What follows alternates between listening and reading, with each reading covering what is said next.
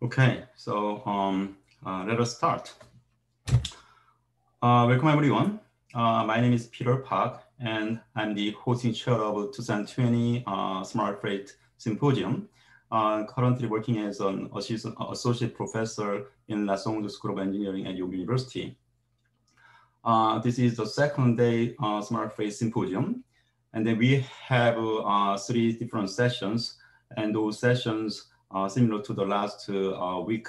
Uh, we are going to have Q&A sessions uh, or after uh, all speakers' speeches.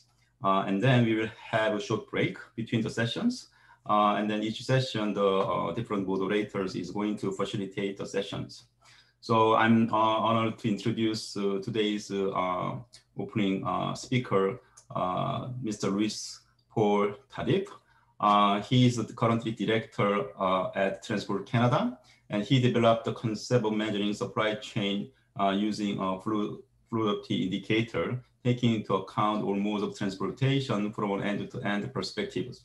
So welcome uh, Louis for, for his uh, opening remarks. Thank you. Thank you very much, Dr. Park. Good morning to you all. Bonjour à tous. Pleasure to be uh, to be um, opening this session. I myself uh, graduated from York University many, many years ago, but was a uh, different place then, I'm sure. We had a joint program in transportation and it's it was uh, quite exciting time. So the first thing is that it's always great to see a workshop or seminars or involving uh, students uh, studying the, the art and science of transportation. Um, transportation is something that has sometimes gone out of fashion. And so it's always good to see that people are coming back to the basics of transportation, which is so important to our country. Um, Transport Canada is very, very pleased to be supportive of the Smart Freight Center. And the way that we do that is uh, through access uh, to some of the data that we, that we use on a daily, weekly, monthly basis. Mostly the American Trucking Research Institute uh, GPS data, sort of probe data, and the uh, here traffic analytics data. So we're very pleased to have made those data sets available and uh, accessible to the Smart Freight Center data warehouse at the University of Toronto. And as we understand it, uh, agreements have been done between the three universities, uh, York, McMaster, and uh, U of T to get those data accessible for the research. As we all know, data is very, very critical in, in research. So we are very pleased to have done so. The, the one thing I've noticed from the program today is that uh, just perhaps it's time that we think a little bit beyond the, the simple modal aspect. And one of the feel, one of the things that we feel strongly about Transport Canada is this multimodal aspect. So I spent 30 some years looking at trucking in different aspects, but definitely each mode play a very, very critical role in our, uh, in our, in our, in our supply chains. So I think I would encourage all students to look carefully at that aspect uh, of our supply chain. One mode in, is not often enough to, to, to be on their own a full supply chain. Things travel with different modes. So if anything, I would enc encourage you to look at the, at the relevance and importance of other functions, other modes into the uh, transportation supply chains. So again, have a good have a good workshop, have a good have a good seminar, and uh, looking forward to the presentations. And uh, thank you again, Peter, for inviting uh, Transport Canada to open this up, and looking forward to working more with the Smart Freight Center and all of the research that you are doing. Thanks. Uh, thank you very much, uh, uh, for your opening remarks. Appreciate it. Uh, before I introducing the first session moderator, uh, I'd like to say that uh, this is a virtual environment. So unfortunately, I'm having some sort of uh, logistical challenges giving you, you know, homemade coffees, but please enjoy yourself at your home. That is one thing that I want to say. Another thing is that um, 10 minute time window is very short. So what we are going to do is that please look at your chat box and then uh, you know, one of us is going to let you know how, how many minutes remaining for uh, during your uh, speeches, okay?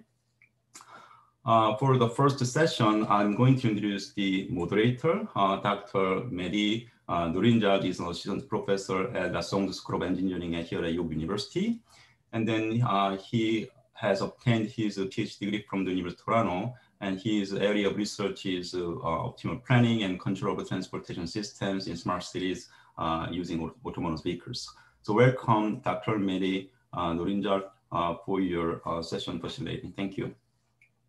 Thank you, Peter, for that great introduction. And thank you, Louis Paul, for your opening remarks and emphasizing the importance of multimodal transportation. Uh, and thank you everyone for joining us today. We look forward to having a nice uh, symposium. So our first session today is going to be on related to the last mile logistics. Um, this is the movement of goods from distribution centers to final destinations, which in most cases is uh, customer residences or homes. And the goal of this last mile is to make deliveries as quickly as possible at, and at minimum cost. Uh, this final leg of the supply chain makes a drastic 20 per, 28 to 30% of the total cost of delivery. So it's really important for us to try to alleviate this load of the last mile.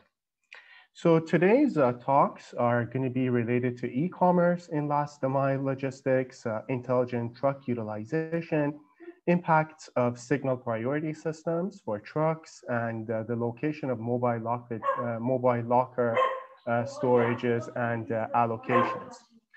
So our first speaker is um, Haider Al-Mashallah. Heider uh, finished his Master's of Science in Industrial Systems Engineering and will be starting a PhD in Computational Science and Engineering at McMaster University. And uh, his primary research looks at the supply chain and uh, supply chain big data optimization and e-commerce in the last mile of delivery. And so with that, I'll pass it on to uh, Heider.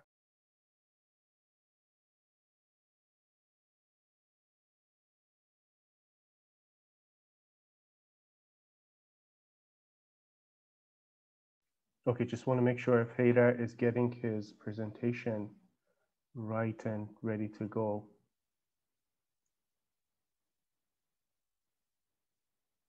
Hello? Uh, perhaps you can rotate to the next person and then we can later invite her. Invite him. Okay, sure, no problem. Okay, so we'll move on to our second speaker for now. Our second speaker is our very own Soha Saiyed who will be talking about uh, intelligent uh, truck utilization. Soha is our second year um, civil engineering master student at York University, working with uh, Dr. Kevin Gingrich. And, um, and um, sorry, let's just see if Heider is back. Okay, so nothing from Heider yet. Okay, so Soha is our very own graduate student working with Dr uh, Peter Park, and uh, he, she's going to be telling us about um, the impact of uh, truck intelligent truck utilization. So with that, I'll pass it on to Soha.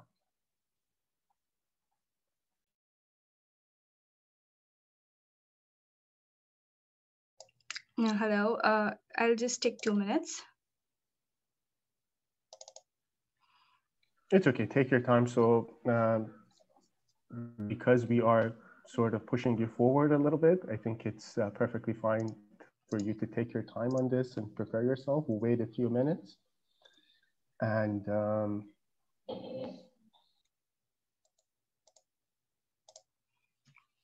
okay. Thank you, uh, Soha. Appreciate it. Thank you. Uh, good morning, everyone. My name is Soha Saiyed, and I'm working on intelligent lane utilization to improve freight transportation mobility under the supervision of Dr. Peter Park. So we are focusing on freight transportation because freight transportation plays an important role in economic development of any region because every sector of economy relies on freight for moving its good from one place to another, be it uh, a pickup van which delivers uh, parcels to residential area from the local businesses or a heavy truck that uh, transfer goods from one city to another Normally, the delivery system to the residential, uh, residential area is known as the last mile delivery in Ontario. So uh, we would just like to conclude that everything that we use on daily basis, like food or uh, clothes, has made some part of its journey in a truck. That's why we are focusing on freight transportation. The objective of this study was to examine and justify the need and feasibility of implementing ILU technique and to improve the mobility of selected corridor by implementing ILU techniques and examine the effect due to them in terms of travel time saving. The methodology that we followed for uh, this research was to review literatures from North American and international jurisdiction uh, who have already applied ILU techniques or are planning to apply ILU techniques. Then further on to uh, develop a micro level simulation model using VISSIM software and a macro level simulation model using EMME software. So we uh, developed it in a way that first we ran a macro micro simulation um, micro simulation model then a macro simulation model, and again uh, back to micro simulation model. And evaluation uh, and to evaluate the performance in terms of travel time saving and losses and then to make any recommendation whichever is better for the uh, study corridors so from uh, operationally separated and physically separated truck lanes, we opted from for uh, operationally separated truck lane. And from the options of operationally separated truck lanes, we opted for truck lane restriction and truck only lane for this study. Talking about the study area, our first study corridor was Derry Road. Derry Road is also known as Regional Road 5. Uh, it is 9.22 kilometer long and has 16 signalized and three unsignalized intersection. And there are three lanes in each direction. Our second study corridor was Highway 50. Highway 50 is 11.02 kilometer long and uh, there are 11 signalized and three unsignalized intersection. From Mayfield till Sears warehouse, there are two lanes in each direction and rest of the corridor is having three lanes in each direction. So for microsimulation analysis, we were provided with the turning movement data. So the turning movement data was in the form of a synchro file, and we were provided with the signal traffic signal data as well. So we have used ring barrier control system for both the study corridor. Uh, the data was uh, provided for 20, 2016 and for PM peak hour and midday hour. Uh, the model was calibrated well to reflect the real world situation using GEH statistics. So this is a snapshot from the VISSIM software. It is showing uh, intersection of Flagstaff and Derry Road. So the result uh, was obtained for microsimulation and it uh, showed that for Derry Road, truck lane restriction will be the best option if we consider all vehicle and truck. But if our focus was only for the truck, then uh, innermost lane as a truck only lane showed the best option. The improvement over here was around two minutes. For Highway 50, truck lane restriction showed the best result for both for uh, all vehicles and for the trucks. Again, here, uh, the improvement was one to two minutes. This is a result for the PM uh, micro simulation. For the midday data, we observed that Derry Road had the same pattern, uh, as in truck lane restriction showed the best result. But for Highway 50, there was no uh, improvement found in terms of travel time saving. After performing the first uh, stage of micro simulation, we moved on to macro simulation. So macro simulation was performed using EMME software and we were provided with passenger vehicle and commercial vehicle model, uh, but the data was only available for PM peak hour. So as I mentioned earlier, the data for VISSIM was for the year of 2016, but uh, the data that we received for EMME was uh, for base year 2011 and forecasted year 2031. And uh, that's, uh, that's why we developed matrices for uh, 2016 using linear interpolation. So we checked these results with the growth factor method as well. And the difference was negligible. So we, we moved further with linear interpolation method. Uh, then changes were made in the network uh, for uh, in the EMME network for 2016, if there was any, and we uh, we used it as a, a base scenario to develop truck only lane scenario in EMME software. So once uh, the truck lane scenario was developed in EMME software, we ran a multi-class traffic assignment to obtain the result. And that result was used for the second stage of uh, micro simulation. So the changes were in terms of uh, traffic volume. So we inputted those results into the VISSIM software and ran the simulation again. The results showed that for Derry Road, outermost lane as truck only lane will be the best option with around three minutes of travel time improvement for truck. And for Highway 50, uh, truck lane restriction will be the best option. So these are the charts for truck and for both the corridors, we observed around three minutes of travel time saving. I would like to thank Region of Peel for providing us with the data and my supervising committee, Dr. Peter Park and Dr. Kevin Gingrich. Thank you.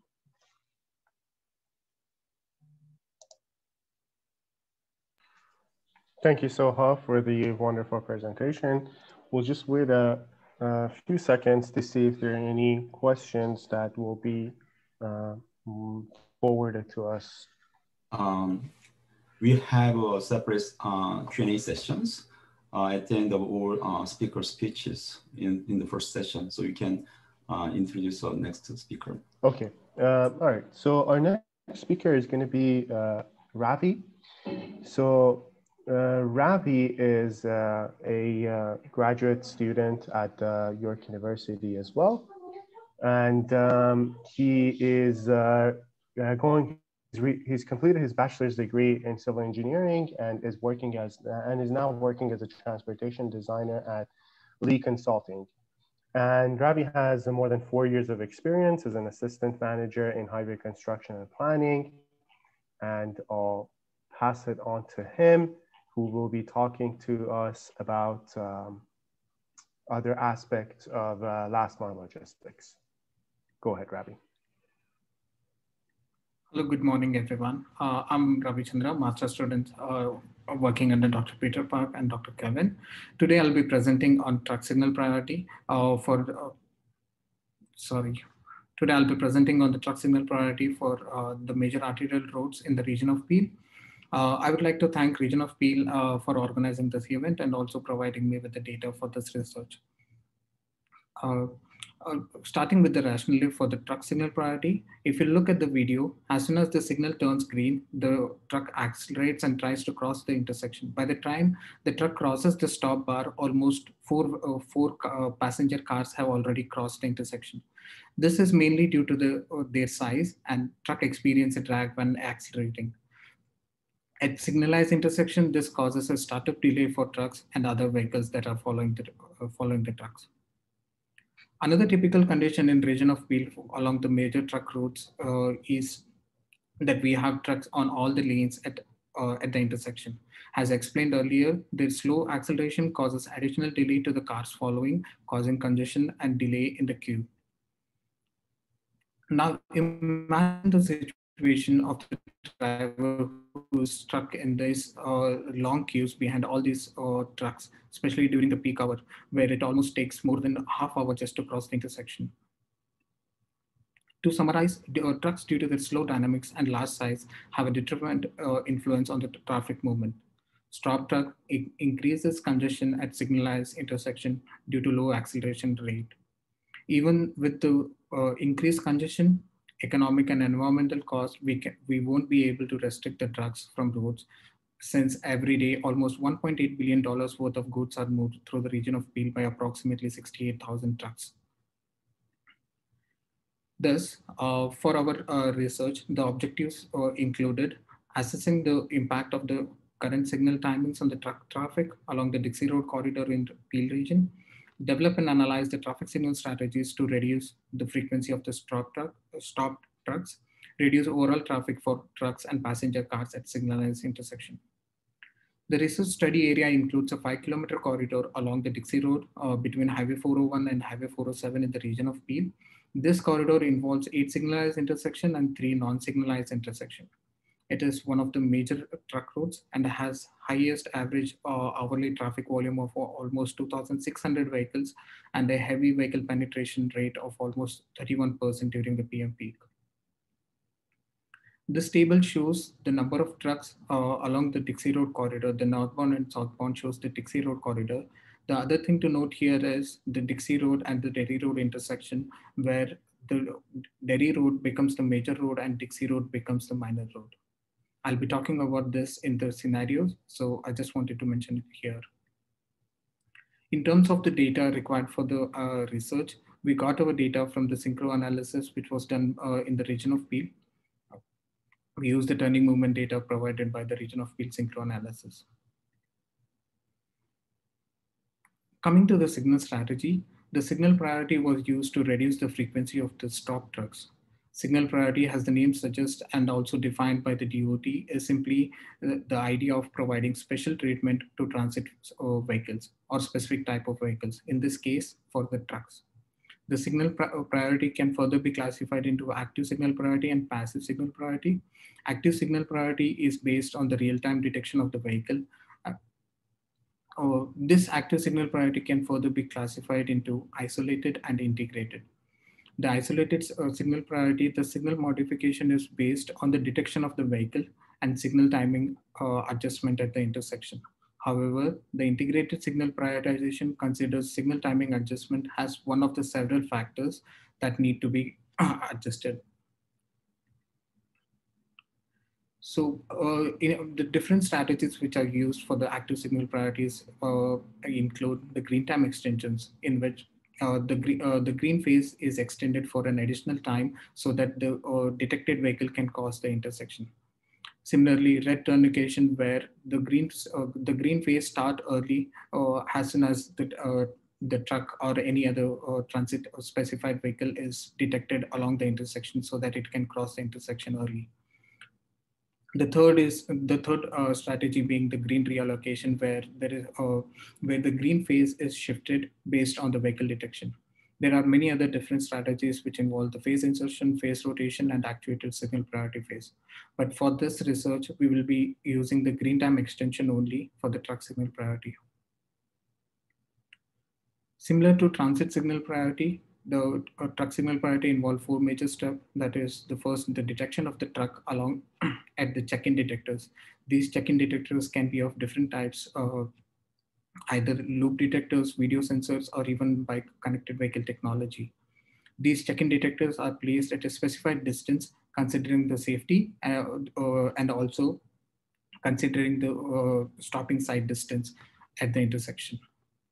Once the vehicle is detected uh, at the check-in detector, the request is sent to the signal coordinator, which would analyze the signal timing, uh, analyze the request and uh, modify the signal timing or even reject it based on the uh, running phase.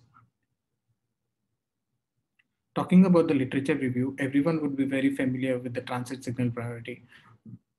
The transit signal priority uh, is one of the most familiar and like has many studies and applications already implemented. But for truck signal priority, there are comparatively unknown. So the most recent one, which was uh, done as a trial uh, for a three-month trial, was done in Sydney in Australia, where they used uh, Bluetooth technology for the green time extension only. uh, and the, uh, the second recent was the one at the Detroit, where they announced the world's smartest intersection, where they use green time extension only. And they were able to reduce the truck stops by almost 22% and fuel consumption by 20%. So these are some of the examples of the simulation uh, studies which were done for the truck signal priority. One thing to note here is uh, when they were trying the truck signal priority for trucks, they were able to reduce the travel time for all vehicles by uh, all vehicles by 26%. So by uh, providing priority for the trucks, we were able to reduce the travel time for other vehicles as well. To study the impact of the truck signal priority, microsimulation analysis was used uh, for our analysis. This is just a screen recording from the microsimulation model for the VISSIM. Uh, oh, uh, this is the screenshot from the VISSIM network showing the eight signalized intersection with the third uh, third signalized intersection, the Dixie and Derry Road. They, uh, I wanted to mention it here again is Derry Road is the major road at this intersection.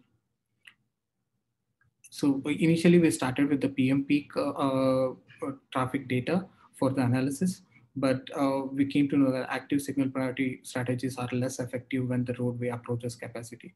So during the PM peak, the roadway capacities were almost more than 75% because of which the active signal priority was not uh, efficient enough.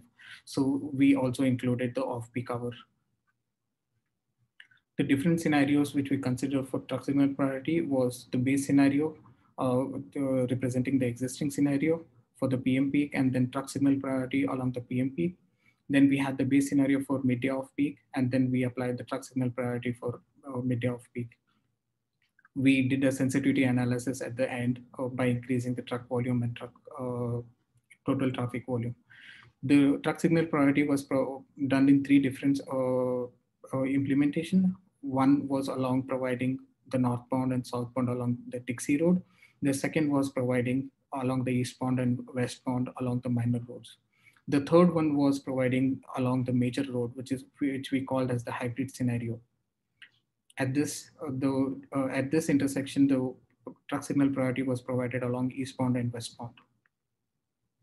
So we use three different measures of effectiveness, that is travel time and frequency of stop trucks, uh, intersection delays, so coming to the results, uh,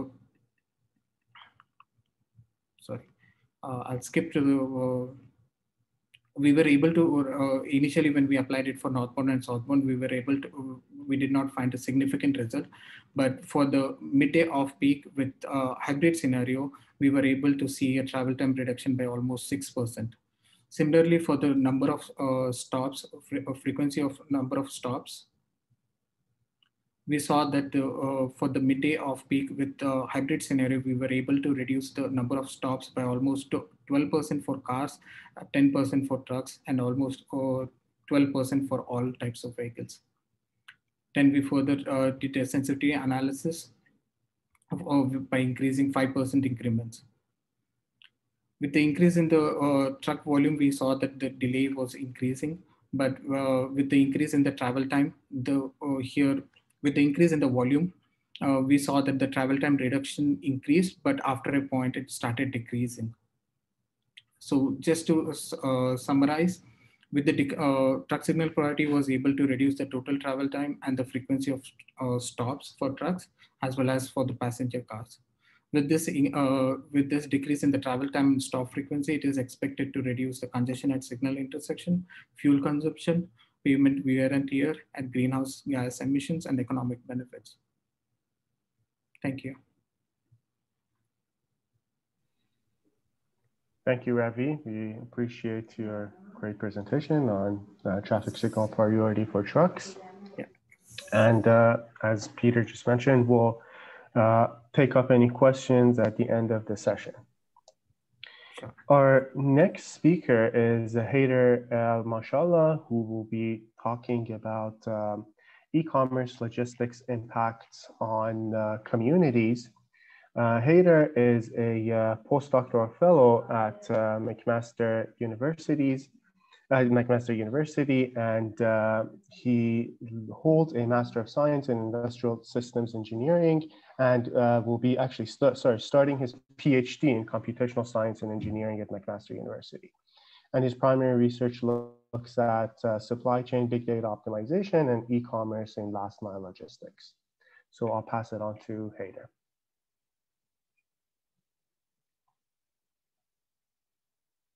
So Heider, we have your uh, slides, but we still don't have your voice. Maybe there seems to be something. I definitely yeah. can hear you. I, Okay, you hear me now? Yes, we hear Okay. you. Thank you. Yeah, thank you for your introduction, and I'm so sorry for uh, not having uh, the 10 minutes. Um, uh, I just like have the kind of a problem uh, in my internet connection, uh, but it's already resolved. So I just like use the other profile that I have on Zoom. Um, thank you for having me here today, and thank you for joining us today. Uh, I'll be talking about the e-commerce logistics impacts on communities um, and our two um, um, main research that um, has been doing, uh, going uh, uh, in um, McMaster University. Um, uh, I would start with the literature type of um, uh, or literature review type of research that we um, did recently. In order to find, let's say, research gaps in the in e-commerce and online shopping behavior, in addition to their impacts on uh, communities in terms of logistics and supply chain drivers, well, we did this review and to do uh, to know that what is next to, to be done. So basically, uh, we did the literature review, and uh, it is considered as the springboard for our um, um, next uh, research, which is the e-commerce um, survey. Uh, so the survey actually, um, um, we uh, collected data from uh, the residents uh, in Peel region uh, to assess the behavior and practices um, in the perspective of the customers themselves in order to um, better and fully understand the last mile delivery and how to um, implement and integrate uh, last mile delivery technologies. I'll be talking about it um, later on in some uh, more details. Um, so recently, the e-commerce uh, has become uh, more indispensable, uh, let's say, and it's increasing um, and gaining more attention. Um, that's been found uh, by the literature and the, the number of publications. Um, um, so recently, let's say in the 2019, um, we had a good hit in the number of publications that handle handles this as this topic of e-commerce, uh, e-commerce logistics. So it actually um, consists, or just like we have around maybe 30% of our um, literature um, review uh, basically uh, published uh, in 20, 2019. Um, and that actually um, reflects how this um, subject and topic is gaining more attention. In terms of the drivers, the supply chain drivers, actually there are most there are many drivers, let's say for warehouse, transportation, pricing, um, we found that maybe the main two topics or the main two drivers that have been mentioned in, um, in the literature review is the transportation and the pricing. Uh, and um, then uh, we, let's say this is the takeaways from the literature review. So we found that the focus um, must be more on the last mile delivery and um, last mile delivery refers to let's say the trip, the last trip and the, and the, or the last stage in the uh, e-commerce logistics, um, where um, in which the, the package will be uh, delivered to the final customers. Uh, in addition, we found that the, um, the information flow is kind of lacking uh, along the supply chain. So there's no, um, let's say, data collection mechanism uh, between the supply chain uh, players along the supply chain. And that's actually one of uh, maybe um, uh, what motivates us to do the e-commerce survey in order to gain more data in, in terms of the customer perspective. Um, in addition to that, that there is no, uh, there is a lack of scientific studies that assess the environment and the society and the incorporation um, of in innovative uh, technology in the last mile delivery. Um, so here, uh, the literature review, uh, as I said, that it is the spring, uh, the springboard for um, our uh, second uh, research, which which is the survey, and we will be plugging the literature review, um, research gaps, um, and the e-commerce um, survey results into one of our ongoing models that is to estimate the traffic traffic uh, volume and uh, their impacts on society and environment. Uh, let me go here to the e-commerce survey. Oh, I'm just like, I'm not I'm not sharing my video here. Okay, so let me go to the e-commerce survey for Peel uh, region. Actually, we hired a company uh, that works on, on the panel survey marketing in order to uh, distribute the survey in accordance to the ethics uh, clearance uh, or ethics board uh, at McMaster University uh, in order to assess the preferences for delivery services. And it is the first study, uh, to best of my knowledge, the first study that uh, estimate and study the e-commerce and online shopping pre and post or pre and during COVID-19. Uh, so the, this would give us more insights about how COVID-19 would actually impact um, the online shopping uh, preferences and um, online shopping uh, behaviors um, the, from the customer's perspective. And um, then uh, here uh, I would talk about the main survey topics and components. we started our survey by writing down the general de demographic questions like the um, question of the number of uh, people in the household, uh, let's say the, uh, the annual income, um, the age, um, gender, um, etc. Uh, and then the shopping behavior, it, uh, um, it is the se second section in our uh, survey. Um, it is about the shopping behavior.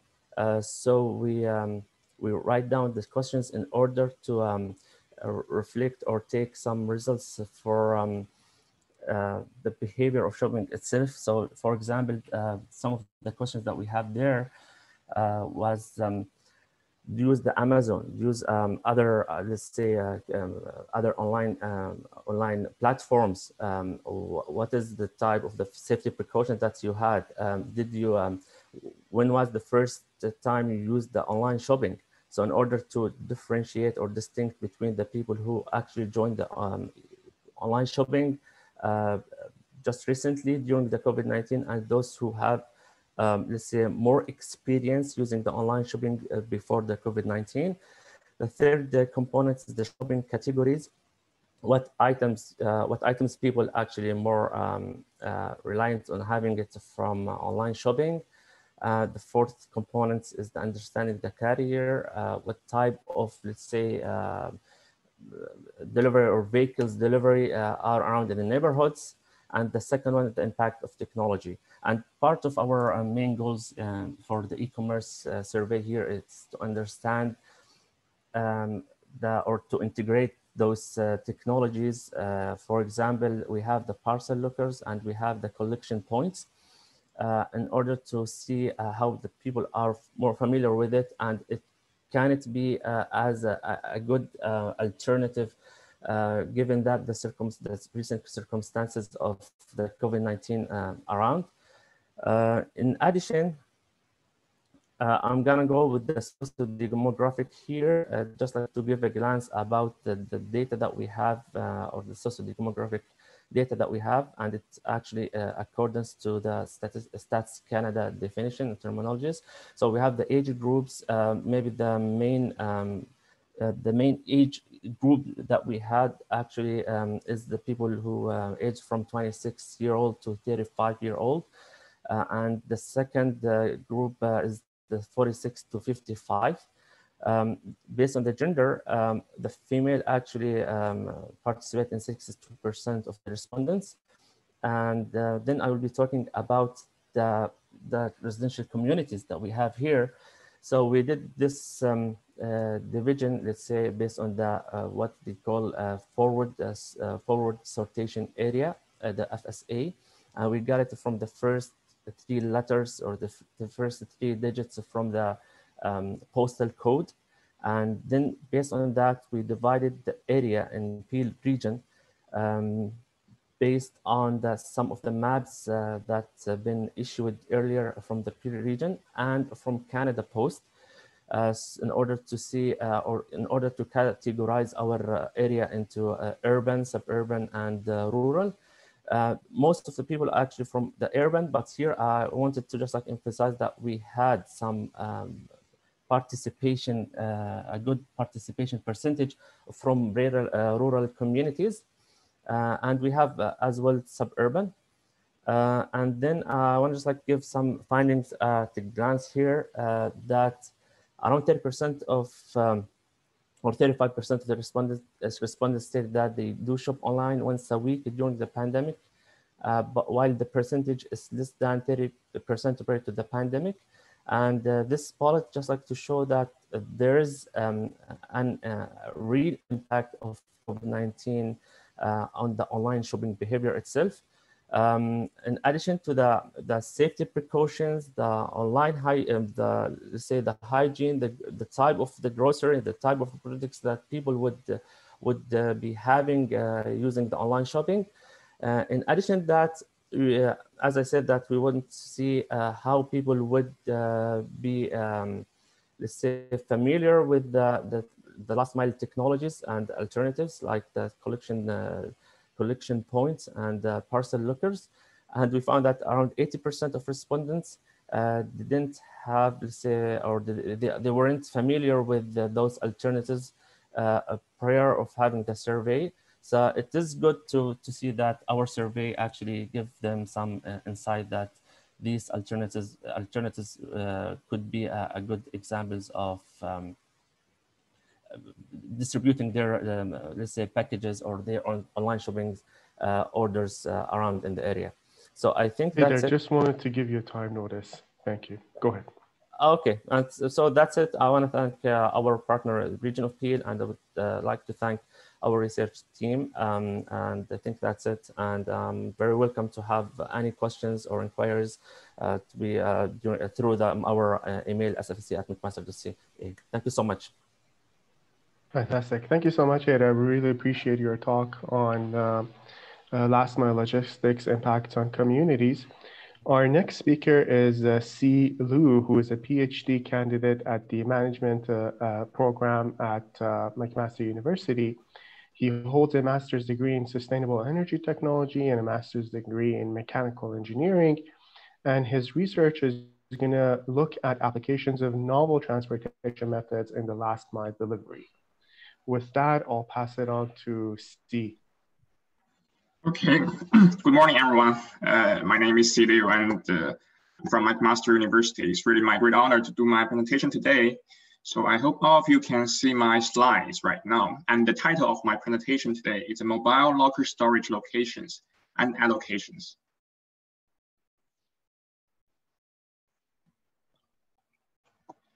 Actually, I think uh, most of you are loyal users of Amazon or eBay, and uh, you are experiencing last mile yourselves. And actually, last mile delivery is a critical component of the e-commerce supply chain. And actually, right now, we have several challenges for the last mile deliveries. And the first one is the frequent illegal or legal curbside parking. As you can see here, this is a picture of downtown Toronto. And we already have a Canada Post delivery truck parking here, and another FedEx delivery truck is trying to join join him, right? And it creates uh, extra congestions. And another challenge is that uh, the introduction of these delivery trucks, they introduce traffic congestions. All right, okay. And uh, one of the popular current solution is uh, fixed lockers, as you can see here. And it can operate 24 hours but uh, it also has several limitations. The first one is it needs extra occupancy space, right? And second one that uh, it may demand high or expensive construct, construction cost. And uh, the utilization may be low. For example, if you inserted a parcel into the locker slot in the morning, and the customers may pick it up in the late evening. So you cannot do anything in the slot during this like eight or nine hours uh, time period, right? But we have another solution. So actually, the proposed design of my presentation is a mobilized lockers. And the idea is to combine the smart lockers together with the city buses. Okay, the, the design is to be operated in partnership with public transit. And it has to use and routes based on demand. For example, if we know the demands on like in Hamilton, number 51 routes, right? So we can arrange how many smart lockers we assign to these city buses. And it has several key advantages.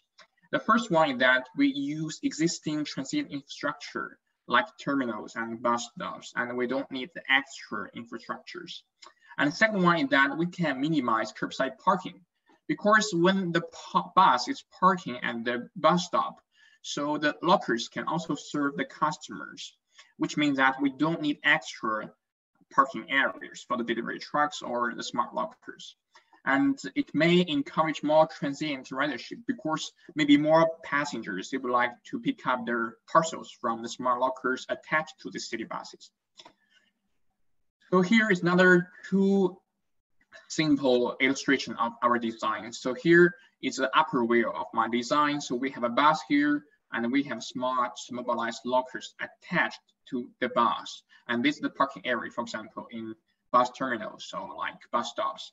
And this is the front wheel of the smart mobilized lockers. So you can see we have 18 smart slots in this design. And on the right hand, we have scanners that customers can use to scan their barcodes to open the slots. And here we have some LED lights, which they can flash when the customers want to pick up their parcels in the slot and can direct the customers to their slots. Here is another brief illustration of the service process. So the first step is that the merchants, they insert the parcels into the slots, right? And in the meantime, they will send the, the messages to the customers, which includes the, the, the number of the slots of the smart lockers, right? And which bus they are attached and actually, the next step is that uh, the customers, they can use the applications, mobile applications to track their parcels because the smart locker is attached to the bus. And many of the buses, they are installed with GPS. So they know where their parcels is. And actually, as long as they know where their parcel is, so they can expect when their uh, parcels will arrive. So they can arrange to arrive at the bus stop maybe like 30 seconds or one minute before the bus arrives. And as soon as the bus arrives, the bus will load and unload the passengers and the customers. They can scan their barcode uh, at the smart lockers and they can get their parcels. Here's another illustration of the how the service is operated on a bus route. As you can see here, we have a bus route from one terminal to another terminal, right? So at the terminal, we have merchants who will uh, insert their parcels into the smart mobilized lockers. As soon as they insert the parcels, the bus together with the smart mobilized lockers will travel to the next point. In this case, it's going to be a service bus point stop, which means that uh, the customers will pick up their parcels at this bus stop. And, the, and, and merchants can also insert their parcels at this bus stops. And at other uh, non-service bus stops, which means that we have no customers. The, the bus will load and unload passengers as usual. There's no influence on it. And on the right hand, actually, is uh, uh, a screenshot of a Google map from Brampton in Peel region. So I'll, the, here is example that we have a bus route uh, in one of the main streets of Brampton, right? And actually these blue dots, they are the bus stops. And actually in this case, they're the service bus stops. And we're assuming that we within these red circles, the customers, they are willing to go to the bus stops and pick up their parcels from the smart mobilized lockers. So in this case, you can see that uh, this design can cover quite uh, a lot of the area and can service the customers. Okay, so the current research investigations. Uh, so we are developing several applications for the development of this service. The first one is locker locations and how can we uh, uh, determine the number and location of lockers depending on daily demand. And the next one is parcel to locker assignment, so which parcels to store in a given locker and at which slot. And third one is locker routing. So we're assigning uh, lockers to which bus routes and how we can schedule them. And the, the last one is customer pickup. So how can we schedule a customer pickup? So there are like four main issues and we're making progress in, in each of them. There are also some future research work here. And the, the first one is we have to understand the impact on transient service time. Of course, we don't want to slow down the regular bus service too much. And second one is we want to benchmark our solution with other last mile delivery solutions, especially some novel solutions like the, the drones and autonomous uh, small vehicles, right? And uh, right now we're also thinking about to, to do a pilot study. So uh, that's why we welcome the discussion with transient operators, retailers, and local manufacturers. So I think that's all for my presentation. So I thank you for all your listening and I welcome any discussions. That's all. Thank you. Thank you so much, Si, Really appreciate it. Um, so this brings us to the end of our presentations. I want to thank all of our speakers for doing a great job presenting their work. I uh, really enjoyed all of them. And uh, I ask that everybody turn on their, all the speakers turn on their cameras. I think we have everybody. Okay. Uh, Peter, if you could do that would be great. Um, so we did receive uh, quite a few questions. What I'll do is for the sake of being fair, I'll ask every person, every presenter one question. And then if there's time, I'll uh, cycle back again. So in the order that the presentations were given, I'll start off with Soha. Uh, so our question for you is, is the research only focusing on freight or is it also focusing on other vehicles like uh, passenger cars? And um, my follow-up question on that would be, do you, your final, your finding from the research, uh, do these uh, mm, lane priorities make sense at the end of the day? Is like three minutes, do you think, significant enough to make these impl implementations and things like that? Um, yes, uh, so though we are focusing just on freight, we are also focusing on improving the travel time for all the vehicles. So it also includes passenger car. So we have also uh, developed data for passenger car and yes, there is travel time saving for passenger cars as well. And uh, about the three minutes uh, travel time saving, I think uh, it is uh, actually considerable that uh, there is a three minute time saving for uh, the trucks. So yeah i think it is it is significant. Because it adds up right? If you yeah. consider the flow of trucks on these roads and yeah it's maybe yes. three minutes for one vehicle but it really adds up when you. Uh yes okay thank you. I think that should be emphasized okay. okay Great, and we'll cycle back to you. Thank you for the for the explanation there. I'll uh, move on to Ravi now. Hmm. Uh, there's a couple of questions that have been asked, Ravi. One is in regards to implementation of TSP systems in Calgary. I think that can be taken offline. But one of the questions that uh, is also a question for me is that we have different priorities for traffic lights, like emergency, transit, etc. Mm-hmm. Uh, can you please explain the possibility of integrating all these priorities in one model? And my follow up on that is can we apply the same TSP model we have for transit to trucks, or do we need to modify these? What makes trucks uh, uh, unique that we need to modify the existing models for them? So uh, we can definitely integrate between the truck signal priority and the transit signal priority. The main difference here is the check-in detectors, which are used to detect the trucks or the transit system. So based on how you're detecting the transit, it depends whether you can use the same uh, same detection system for the trucks. So once you're uh, the same, the all of the signal controller and every other component within the, uh, within the transit signal priority can be used for truck signal priority and vice versa. But you cannot combine both of them together because it might sometimes create uh, a longer green time for one of the corridor and the other corridor will not be getting uh, sufficient green time. Either they would be getting just the minimum green time, which would increase the travel time for the other uh, other vehicles which are on the other legs. Of course, there may be conflicting priorities, yes. uh, but let me ask you: Do we do we even have places in, let's say, Ontario, where you know we have uh, an abundance of trucks and uh, and buses? Do we have cases like these? Uh, especially along the major. Like I would assume yeah. that the region of Peel has a lot of trucks and downtown Toronto yeah. has a lot of buses. But do we yeah. have places where we have both of these, uh, you know, in conflict with each other? Are you familiar with anywhere? Uh, I don't think I'm. I'm not familiar, but as much as I'm familiar uh, with the situation, I don't think there is a major conflict between both of them. Uh, even when there is, uh, it is the uh, the transit vehicles are very less frequent. So where the trucks are have heavy frequent, so the transit vehicles are not so frequent along those routes. Exactly, exactly. So yeah, maybe that it might not always be the biggest. Yeah. Uh, it might it might not happen where we have a lot of conflict. Yeah, yeah. Okay, thank you so much for that. Yeah. Our next question is for Heider.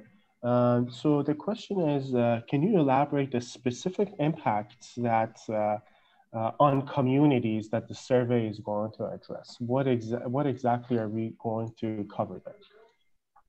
Okay, um, as I said that we're trying to um, we have like uh, many goals that we can just like pull up from the survey. The survey is um, so rich in, in data. Uh, let's say just like the five components that i showed you in the presentations understanding the carrier and um, the shopping behavior the online shopping behavior and uh, during the covid-19 um, for us, let's say um, at least we will just like be building our models. Um, um, let's say that the traffic uh, volume, the traffic flow, and uh, e-commerce logistics. Uh, and we got we want to just like see uh, all these um, things uh, through the eyes of the customers themselves. So that's maybe the let's say the ultimate goal that we have here um, the, the e-commerce would serve um, different um, different goals, different research, and let's say uh, even public goals. And I believe so that region of Peel would uh, would actually um, uh, take um, some of the results, and it will be maybe uh, benefits for for their plans, let's say for the community uh, themselves. So yeah. Fantastic. I completely agree. Would you also tell us a little bit about more, at least like one of the policies that you think your survey will be useful in assessing? Okay, so for the policy, um, the, for the policy that we are um, assessing, uh, let me say that um, right now we are in the, um, the data, let's say data analysis and uh, the, the, assessment of uh, the policy would be uh, for um, just give me a second here. Yeah. So for the policy that we will be assessing is um, um, anything that's related to, let's say, customer um, uh, customer behalf. Uh, that's one hand. The other hand that we will be uh, maybe um, uh, in collaboration, I will be in touch with, uh, let's say, our research partners and with those carriers uh, in order to obtain maybe the best optimum um, um, ideas and uh, alternatives in the last mile delivery. So we are assessing the policies of um, uh, satisfy the customers in the region of the, uh, in the region of Peel, um, and our our plan is maybe to expand our um, our models and our survey uh, results uh, to represent or to be implemented in other areas in, in Canada through Canada uh, if it's applicable. Thank you for that. I think one of the other interesting policies to look at is uh, freight on transit, like Si was uh, mentioning. I think that'll be something very interesting to see how you know customers behave behave with respect to these types of delivery systems. Thank you so much, Rita. Yeah. We'll move on to the question for our final speaker. The first question is, uh, so this idea of you know putting packages on on buses, this is only for smart parcels. Uh, correct? Uh, so maybe you can validate that. And if that's the case, this concept is applicable for the delivery in residential areas and maybe not for commercial industrial areas. Can you comment on that, Si, please? Uh, as, as, as, as long as we have bus stops, we can like arrange any smart lockers to serve the customers. But right now we are only considering to serve small small parcels that can like serve the commercial areas or residential areas. Yeah. Uh, very good. I agree with you. One of my questions was uh, when you had the circles around the transit stations, are those uh, does that mean that that's the service radius of the people that are within that uh, within the uh, proximity of that bus stop are able to go and pick up their packages from there? Yeah, yeah. Okay, so there is a little bit of a burden on the receivers to actually, well, it's not a huge burden because you're probably close to these busy stations, but you do have to go and do the pickup.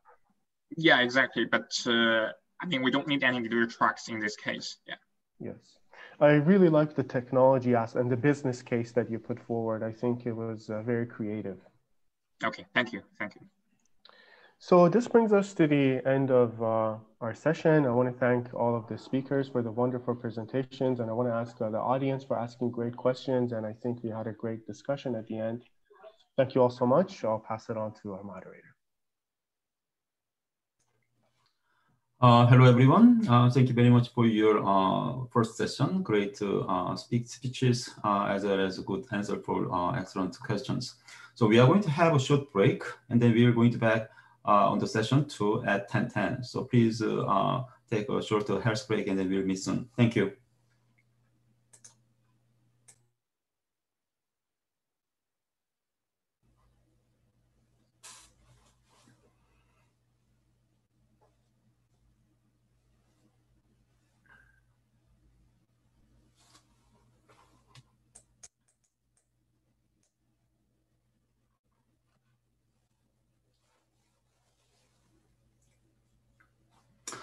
Um, hello, everyone.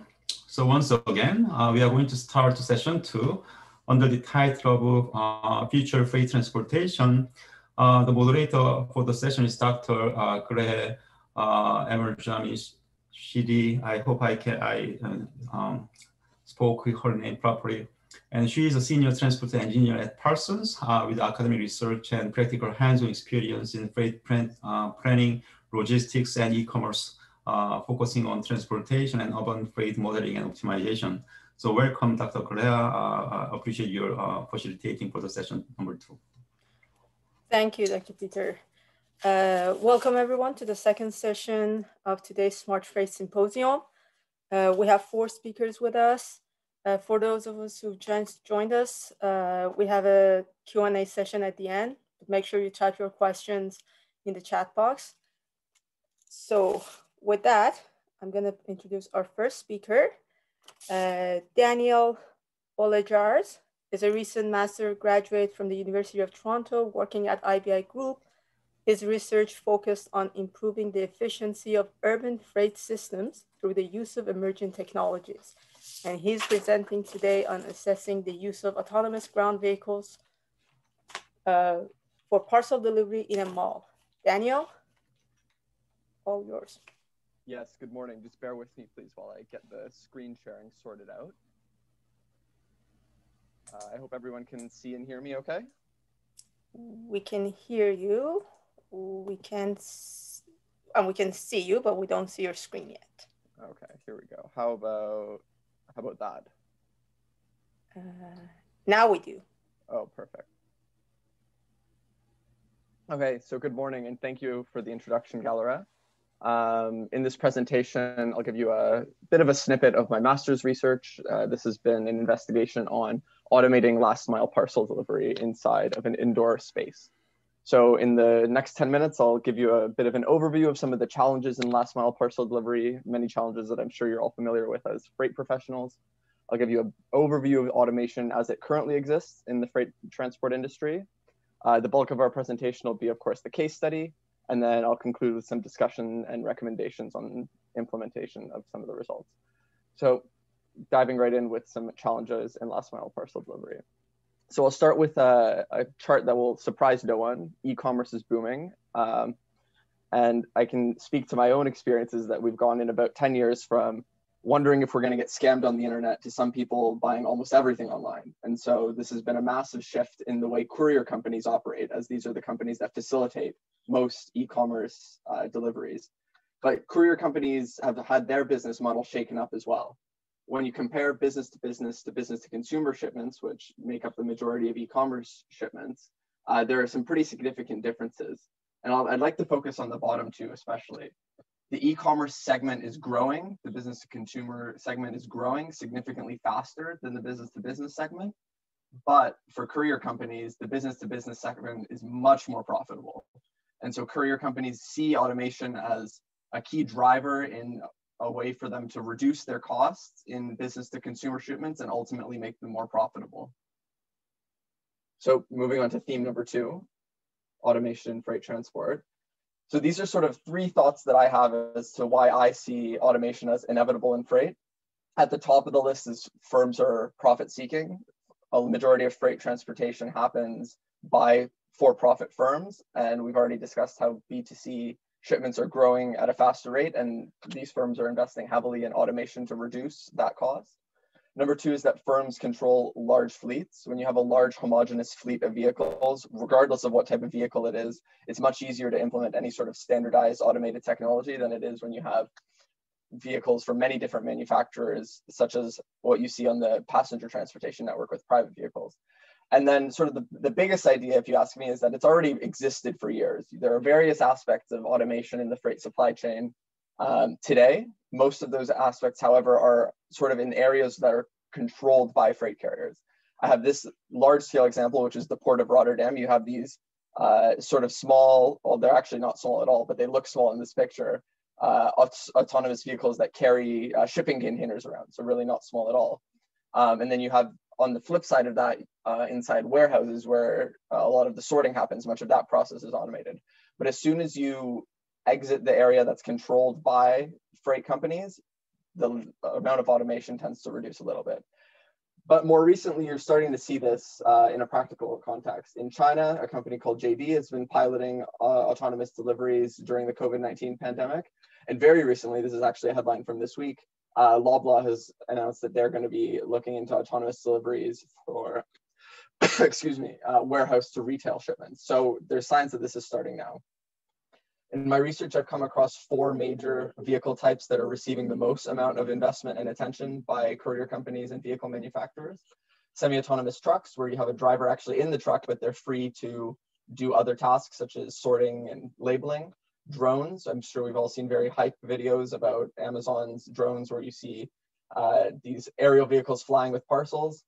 Uh, droids, which are small uh, ground vehicles with room for one parcel delivery, and then autonomous ground vehicles, what I like to call the filing cabinet on wheels. You see uh, a few different drawers where you have room for multiple deliveries worth of parcels, and that's on top of a, uh, an autonomous, uh, autonomously moving base.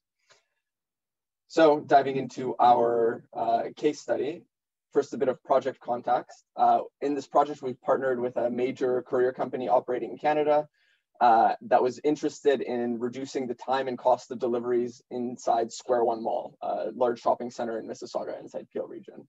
Uh, this exact autonomous vehicle you can see on the left was the, the vendor that they were in, initially collaborating with, but the idea was just to see how much time and cost could be saved if a system like this was to be implemented.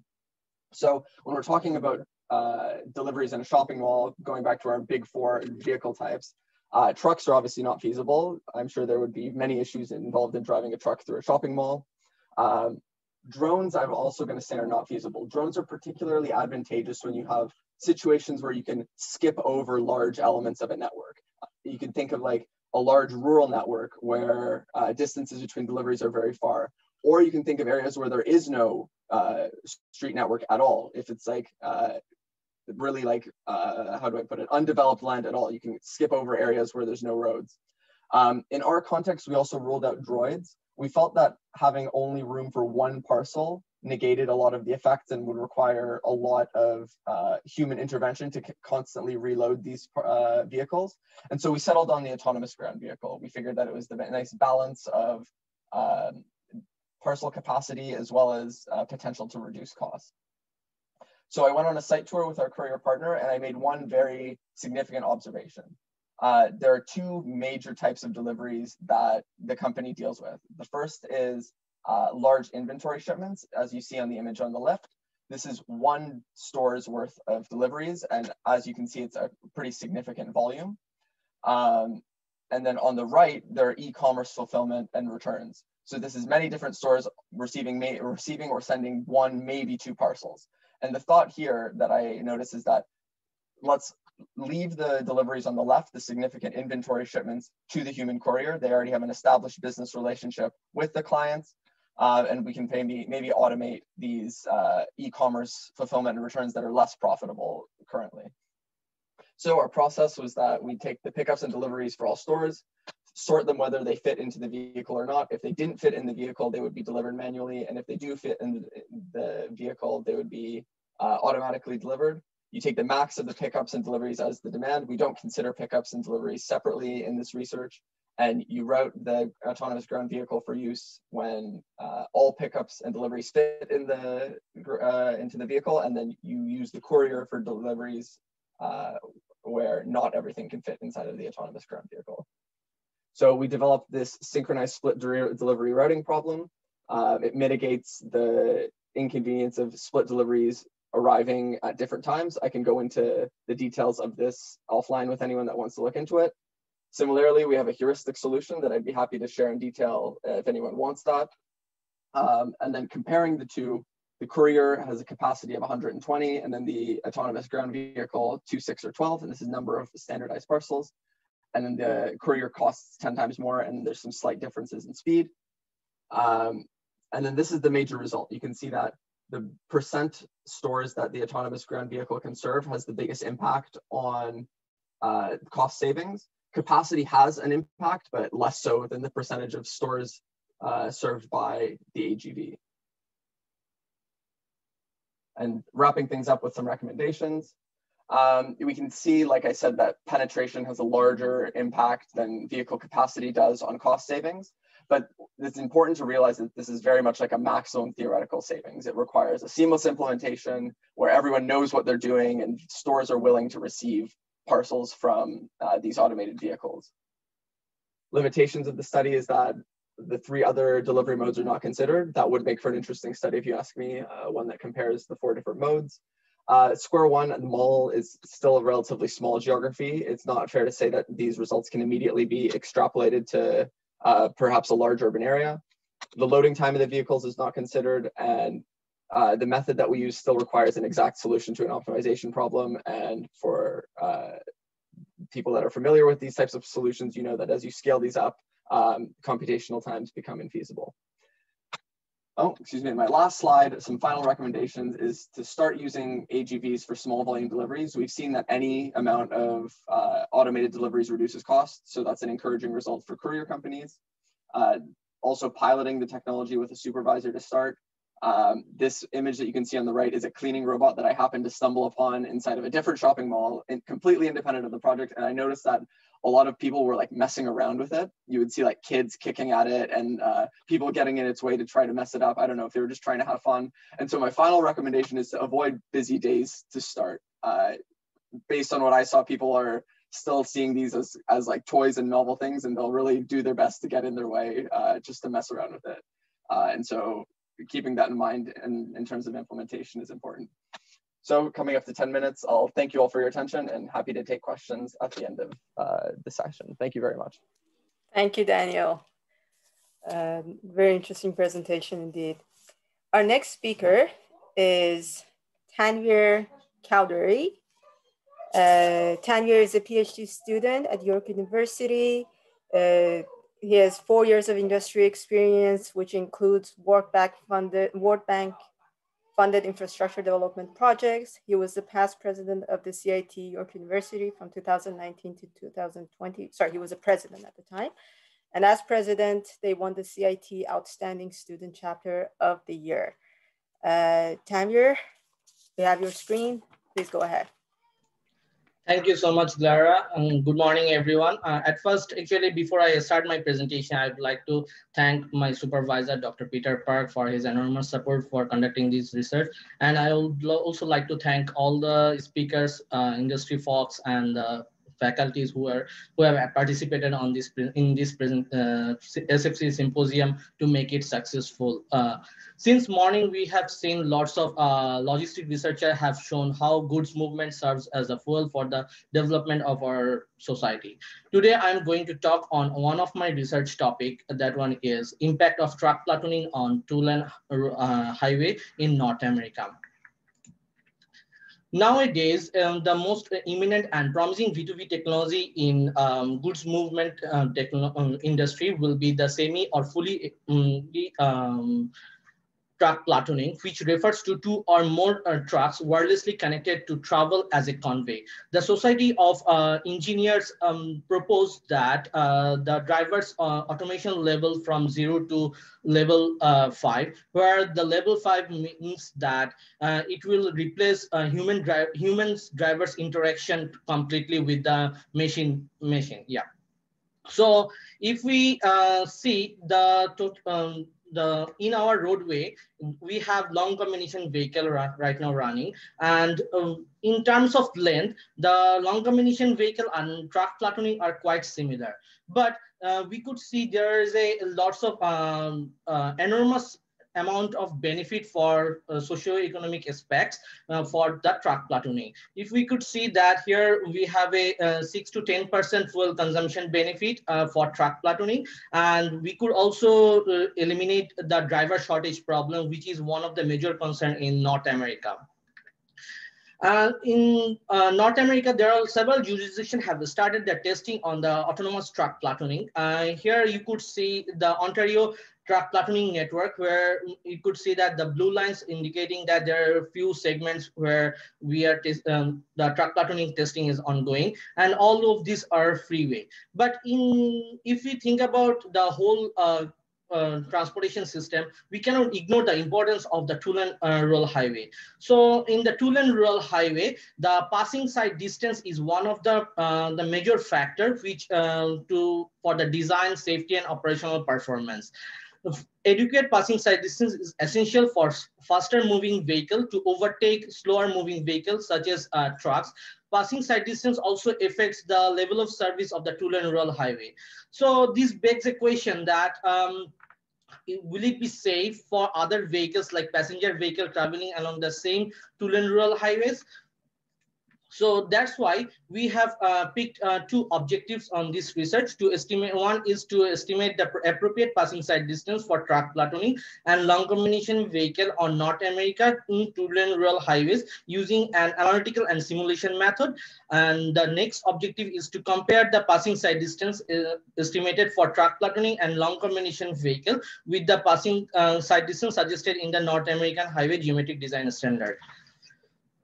From the literature review, what we have identified that there is no evidence which indicates the, the impact of passing sight distance for truck platooning.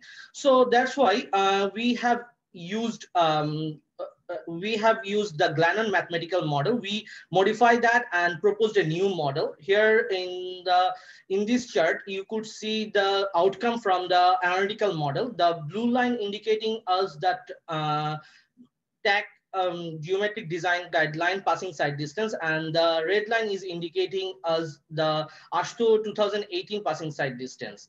And here for the truck platooning, we have considered WB20 truck as a, um, which will make the convey.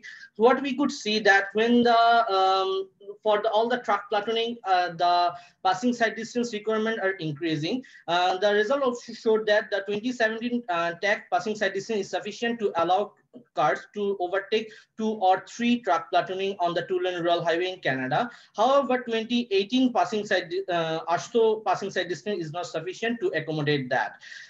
And result also indicating that passing sight distance requirement is almost 1 to 5, 1.5 to 1.8 times more at 9, 90 kilometer design speed than the 2018 AASHTO geometric design guideline the traveling lane, opposing lane, traffic, traffic volume, driving behavior, vehicle acceleration, deacceleration, traffic composition. There are lots of factors actually which um, plays a vital role on the overtaking maneuver on the two-lane rural highway. So that's why we have considered three traffic scenario environment. The scenario in the scenario one, the traffic uh, volume is higher, and the, in the scenario three, the traffic um, volume is lower. So what we could see from here, we have considered uh, develop this model in using a micro simulation using Vissim, and what we could see that we observed that in all HCV platooning condition, overtaking maneuver occurs at less than uh, thousand meter distance. It has been noticed that in all three conditions, traffic scenario environment, approximately 75% passenger vehicle has completed passing maneuver of um, LCV TAC and LCV um, turnpike double within the Pashto, AASHTO passing sight distance. That is uh, which is 440 meter. However, in all three scenarios, less than 25% passenger vehicle accomplished the overtaking maneuver of two or three truck platooning uh, according to uh, AASHTO passing sight distance. On the other hand, more than 75% passenger vehicle uh, has finished the overtaking maneuver of two or three truck platooning within 2017 um, TAC uh, passing sight distance, which is 860 meter. So what we have learned from here, the find the major finding is uh, that uh, the passing distance estimated for uh, overtaking and ACV platooning were more than those overtaking long combination vehicle. The result also showed that 2017 TAC passing sight distance provides sufficient passing sight distance for a passenger vehicle to pass all six ACV um, uh, yeah, all six track um, options and um, over the entire speed range. But uh, on the contrary, we could see that um, 2018 AASHTO passing sight distance uh, provides inadequate passing sight distance uh, for them. Um, on the other hand, uh, the simulation um, result also also showed us that the result is not identical and the simulation result showed that clearly 2018 passing sight distance does not provide sufficient length for the passenger vehicle to overtake. The 2017 passing sight distance, uh, 2017 TAC passing sight distance provide a sufficient length for a passenger vehicle to pass two um, long combination vehicle options and good enough length for the passenger vehicle to pass a uh, two truck platooning uh, but it is well short of uh, the required um, 20 85th uh, percentile uh, overtaking distance for the for operating uh, three truck platooning. The simulation result also showed that it appears to be very challenging for a passenger vehicle to pass a three truck platooning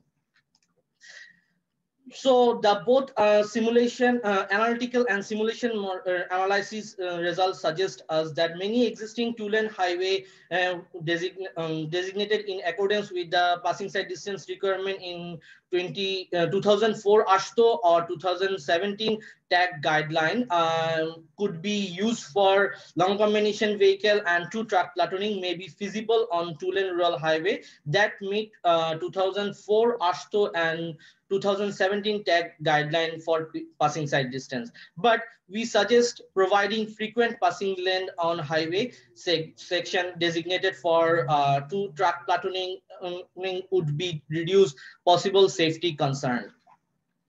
Uh, and then I would like to thank um, um, I would like to uh, show my gratitude to York University and Smart Freight Center for funding this research project. And I would like to also thank uh, IT York University student chapter for arranging lots of training sessions, which helped me to enhance my skill to conduct this research project. Uh, here are the references, what I have used for this research, and I'm happy to Thank you. take the question. Thank you, Tanvir. Thank you. That was a very interesting presentation. We'll keep questions until the end. And we'll move on to our third presenter, uh, Alia Galal is a PhD candidate at the University of Toronto. Her PhD research combines freight transportation, human factors, and traffic safety as she analyzes truck drivers' skills and behavior using a truck simulator. Her research aim is to improve traffic and vulnerable road user safety in Canada and worldwide. Uh, Alia, we have your presentation. Uh, hi, everyone. It's my pleasure uh, doing this presentation today. I hope you can all hear and see me. Uh, great. Yes, we can. Okay. So I'm Alia, and today in the coming few minutes, I'll be talking about my research topic for, for my PhD, which is uh, trucks and vulnerable road user interactions uh, and safety interactions using a truck simulator. So before jumping directly to my research topic, I would like to to, to point your attention to some alarming facts. So for instance, uh, research has revealed that around 1.2 million pedestrians uh, die in road collisions yearly uh, in the world and about 50 million others get injured uh, in road collisions. So this is, this is too much. Uh, and on a more local scale in, in the city of Toronto from 2006 to 2019, uh, it is found that uh, vulnerable road users are involved in about 69% of fatal collisions. And by vulnerable road users, I mean mainly pedestrians and cyclists. Uh, concerning truck crashes, these are found to be uh, much more severe than uh, crashes with other vehicles, such as passenger cars and other smaller vehicles, and especially when uh, pedestrians or cyclists are involved. So one study said that uh, pedestrians are two to four times more likely to be severely injured or die in a truck collision. Uh, and the figure to the right here, um, the, the, the, line graph shows the proportion of pedestrian fatalities along, uh, along the years uh, in in the province of Ontario, and it's it's alarming and it's increasing over the years. Although uh, the the fatalities, the the general fatalities on the road uh, keep uh, decreasing over the years. So something here is isn't working well. Um, so uh, while doing my literature review, I found that there there are many factors that that contribute in and lead to uh, truck VRU crashes. Um, I won't really go deep into details uh, about each each each of these factors, but uh, research has uh, only uh, categorized them into four categories, which are which are location-related factors, infrastructure-related factors, vehicle-related factors, and driver-related factors. Uh, one of the reasons I'm not go going uh, into detail uh, about these factors is that the strongest predictor actually is not uh, among these factors, but the stronger, strongest predictor for truck crashes is uh, driver error. And that is uh, mainly caused by one of three things, either recognition errors, decision errors, or distractions. Uh, and in my research, I, I, just focused on one of them, which is the, the decision errors, one, one type of decision errors uh, of truck drivers, which is hazard anticipation. Uh, so the term hazard anticipation itself can be divided into four uh, points or four steps. So to, so to, to anticipate a hazard, uh, uh, a truck driver should first be aware of the traffic traffic risks and the, the, the associated threats to safety. Uh, he, he should be then able to, to visually search and detect the elements that contribute to, to these uh, unsafe situations. And based on that, he, he should be predicting uh, any hidden or latent hazards that could materialize and then uh, he, he should give his response accordingly and therefore avoid conflicts. Uh, so uh, since since this topic is a little bit different than anything that that has been discussed in in this symposium so far uh, I thought of mentioning quickly what latent hazards are. So latent hazards, as, as it appears in the picture, uh, are potential threats that have not explicitly materialized yet. Like, um, like in this picture, um, uh, we see a cross uh, uh, that, that pedestrians may be crossing uh, uh, in front of that big truck. So, but but the the, the truck that, or the the driver that's approaching this um, blue area isn't seeing or doesn't have uh, a clear vision uh, to the to the to pedestrians. So these are the latent hazards, and these are the areas that that uh, drivers or truck drivers should be uh, specifically aware of. And then I I dig uh, a little bit into the, the truck driver training and truck driver training standards in Canada. So in, in a survey study uh, for truck uh, drivers or Canadian truck drivers, many truck drivers said that the training standards in Canada specifically are inadequate because they do not prepare the truck drivers to drive in certain settings such as uh, mountainous or slippery roads, which are basically uh, very popular in, in Canada. And uh, more, many, many uh, truck drivers recommended that uh, the, the truck driver training um, module should, should include more behind the wheel training and not only rely on classroom training. Uh, another in another study, uh, it was revealed that also by truck drivers that uh, simulator-based training um, uh, is is very beneficial for them. Uh, however, um, many many of the surveyed uh, truck drivers suggested that the program should be should be better implemented, and the, the, the driver the the truck driving simulator should be um, taken as a serious training tool. Uh, some of them also mentioned that the driving environment should be made more realistic. So based on uh, everything I, I mentioned, uh, I developed a, a, research plan with the aim of improving the truck vulnerable road user interaction through the development of hazard anticipation training and testing procedure. and for that, I, I will be using two main uh, state-of-the-art um, equipment. So first a truck simulator. Um, so we decided to uh, to purchase a truck simulator that's top of the line. Uh, it's it's a quarter cab heavy truck uh, mini sim developed by the University of Iowa NADS, uh, and that has the benefit of uh, being of uh, having um, a, a, very high validity and reality in the in the driving environment.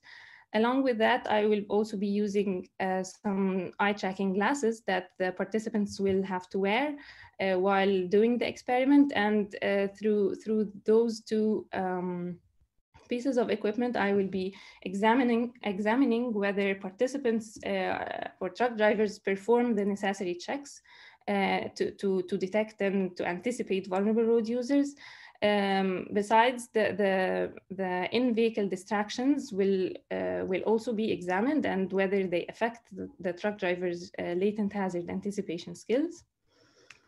Uh, so uh, in just just very quickly my my summary of uh, the, the summary of the tasks I will be doing uh, is first I, I will do some online interviews with uh, truck driver trainers and um, hopefully others uh, um, subject matter experts.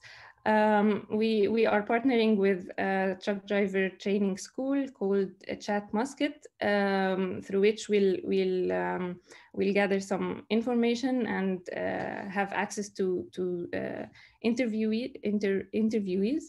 Uh, however, I'm, I'm pretty open to any suggestions about where to, or if anyone is interested in getting involved in such interviews or uh, is able to provide me with any other resources.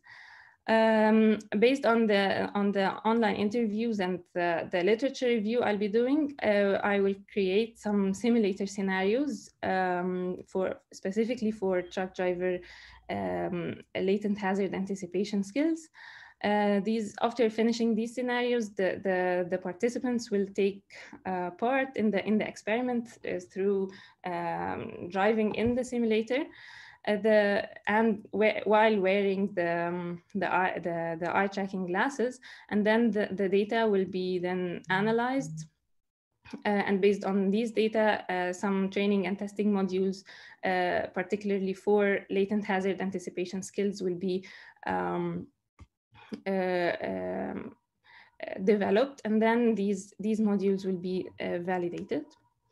Uh, uh, I'm currently in the in the starting phase of this research. However, the the expected contributions are uh, that, to to the best of my knowledge, uh, this will be the first study on truck drivers' vulnerable road user related latent hazard anticipation skills. so at the end, I'm hopefully coming up with uh, a training and testing procedure for improving uh, this skill in truck drivers. And um, based, based on that, the expected result is uh, that the safety um, between trucks and vulnerable road user will be significantly improved, especially in Toronto and or in, in Ontario and in, in all over Canada. Uh, so to wrap up my talk, uh, yeah, uh, I'm, I'm just mentioning that uh, um, the, the problem is real, so something needs to be done. And uh, to, to improve that, I'll be, uh, I'll be using a truck simulator and uh, hopefully the results will improve safety. These are my references and thank you for- Thank for you, Alia. We look forward to uh, having more presentations from you on when you have more results. It's a very interesting plan. Our last presenter for this session is Mehdi Meshkani. Uh, Mehdi started his PhD student at Ryerson University in 2018, and his research focuses on the development of on-demand shared mobility systems to optimally design city-scale ride-sharing and ride-hailing algorithms. Mehdi, please go ahead. Uh, hello, hello, everybody. I hope you are doing well. Uh, my name is Mehdi uh, from Ryerson University, uh, under supervision of Dr. Bilal Farooq. Uh, my presentation is on multimodal autonomous last mile delivery system design and application. The table of contents uh, includes uh, motivation and research significance, methodology, case study, and results. Uh, today, we have congestion due to urbanization. Based on statistics, 55% of world's population lives in urban areas, and this number is expected to increase to 68% by 2050. global urbanization increases the demand of um, freight transportation. The congestion due to uh, freight transportation have uh, several reasons. Conflict between freight and passenger services, increase in e-commerce and the one-day delivery services, restrictions on the operational hours of freight movement in urban areas, and uh, parking limitations within uh, congested areas. In Canada, in the food delivery industry, uh, the revenue is expected uh, to show an annual growth rate of 10.2% by 2023, uh, also, users' market penetration rate is expected to reach 39.4% uh, in 2023. So we need to take a proactive approach by incorporating uh, new technologies for last mile delivery systems. In this research, we investigate the operational design and efficiency by applying autonomous ground vehicles and autonomous uh, aerial vehicles for last mile food delivery services within a highly populated urban area. Uh, this research uh, will help companies comprehend the benefits of um, using intelligent transportation in order to reduce the delivery times and maximize their profits.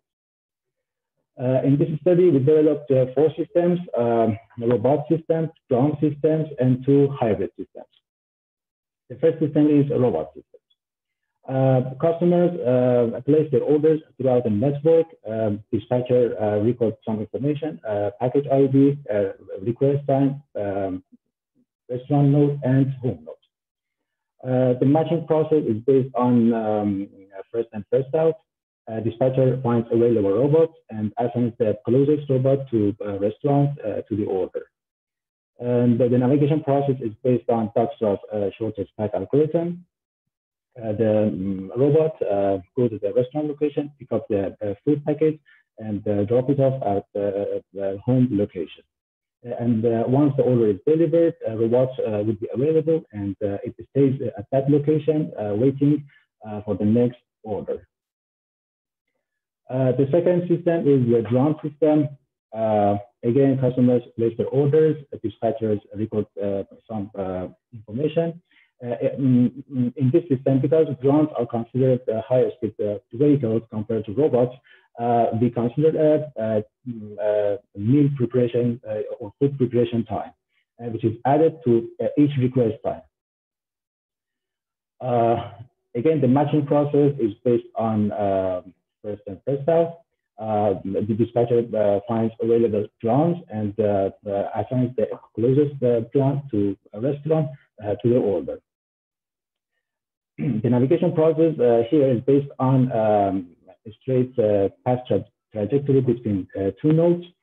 And the drones go to the restaurant location, pick up the food, and drop it off at home location. And again, once the order is delivered, drone will be available and um, it stays at that location until next order comes in.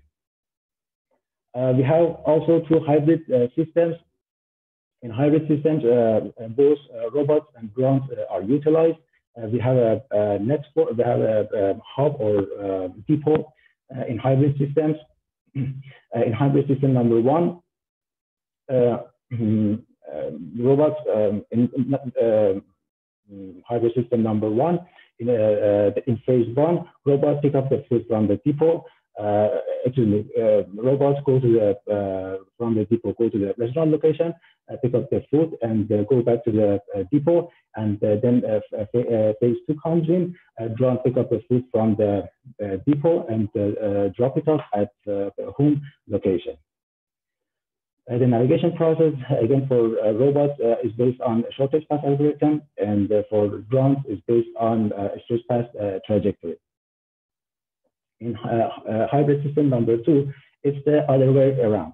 Uh, in phase one, uh, drones uh, go from the depot to the to the restaurant location, pick up the food, and then go back to the depot. And in phase two, robots pick up the food and and uh, go to the uh, home location and drop it off. And again, uh, in this system, because drones are higher speed, we should we consider a mean preparation time, which is added to each request time. The navigation process, again, for, um, for drone is based on a straight path uh, trajectory between two nodes, and for robots, it's based on uh, shortest path algorithm. Uh, the study area uh, is uh, downtown Mississauga. Uh, Mississauga is the sixth most populated uh, city in Canada, and uh, downtown Mississauga includes both commercial and residential areas, um, and it has a high population density. the study period, the study period of simulation is Olympic period from 5 to 6 p.m. And the demand used in this study is time-dependent exogenous demand, origin destination matrix. Uh, we consider average uh, wait time as the performance measure, uh, and based on that, we define different level of service. level of service A, B, C represent um, over reliable, um, reliable and uh, stable system, while uh, level of service D and F uh, represent an unreliable system. In our results, the uh, in our results, we, uh, we uh, actually we tested different fleet size with three different demand scenarios. original demand, 10% increase in demand, and 20% increase in demand. Um, the optimal fleet size for robot system, the optimal fleet size is uh, 75 robots, and the average uh, wait time using optimal fleet size at uh, maximum demand is is about 32 minutes. Uh, for drone system, uh, the optimal uh, size is 10 drones, and average wait time using uh, optimal uh, fleet size at maximum demand is, is about 29 minutes. for hybrid systems, we, we considered the combination of different combination of fleet size for drone and robots. In hybrid system number one, the optimal fleet size is the 25 robots and 15 drones. Um, and average wait time is about 17 minutes. And uh, there are also some uh, uh, scenarios with less fleet size and acceptable level of service, for example, level of service B. But um, as can be seen, um,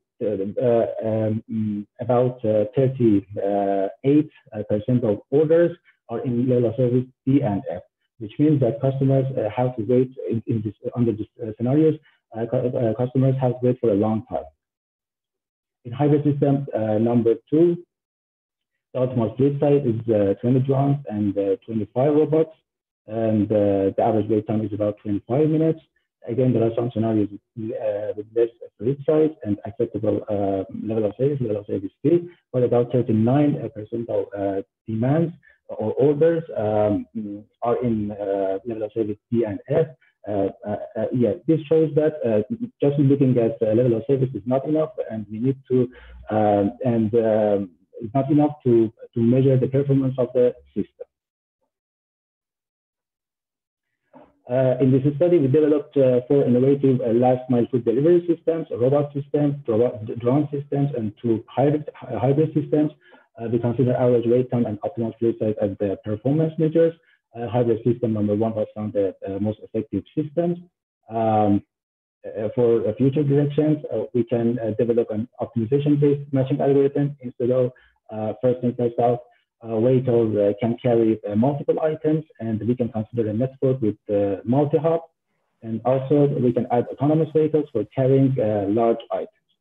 Um, at the end, I should say that this study was published in IEEE Smart Cities and it's available on the IEEE uh, Explorer. Thank you. Thank you, Mehdi. Uh, and with that, we come to the Q&A uh, part of our session. I would like to ask all speakers to please turn on their videos. Okay, um, we have quite a few questions. Um, I'll start with Daniel. Uh, so uh, would hubs waiting areas need to be implemented or should the AGV be capable of tracking customers as they move through the shopping mall? And if you could also uh, sort of explain some of the regulations we have currently on using commercial drones.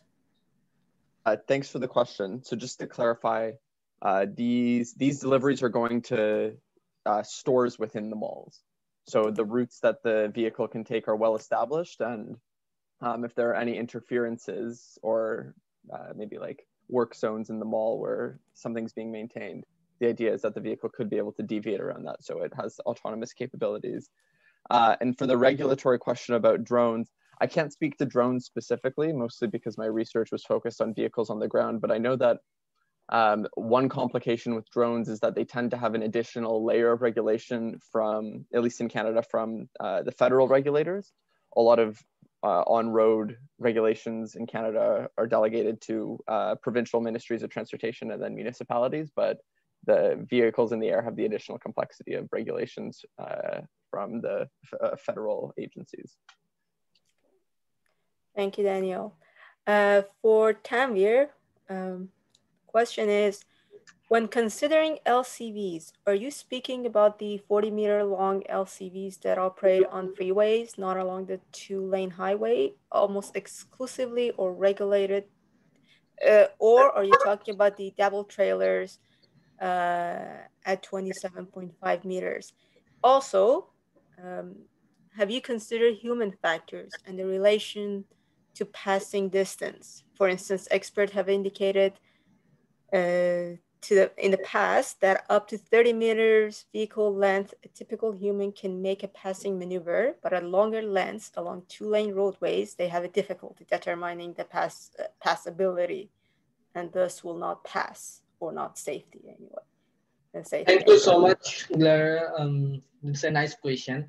Uh, for the uh, first question that uh, for this case, uh, long long combination vehicle TAC, the maximum length according to the TAC manual, that one is 25 meter. So I have considered that for as long combination vehicle, that 25 meter length and and long combination vehicle turnpike double according to the AASHTO that the maximum length is 34.75 meter. I have considered that as the long combination for the, those two long combination vehicle.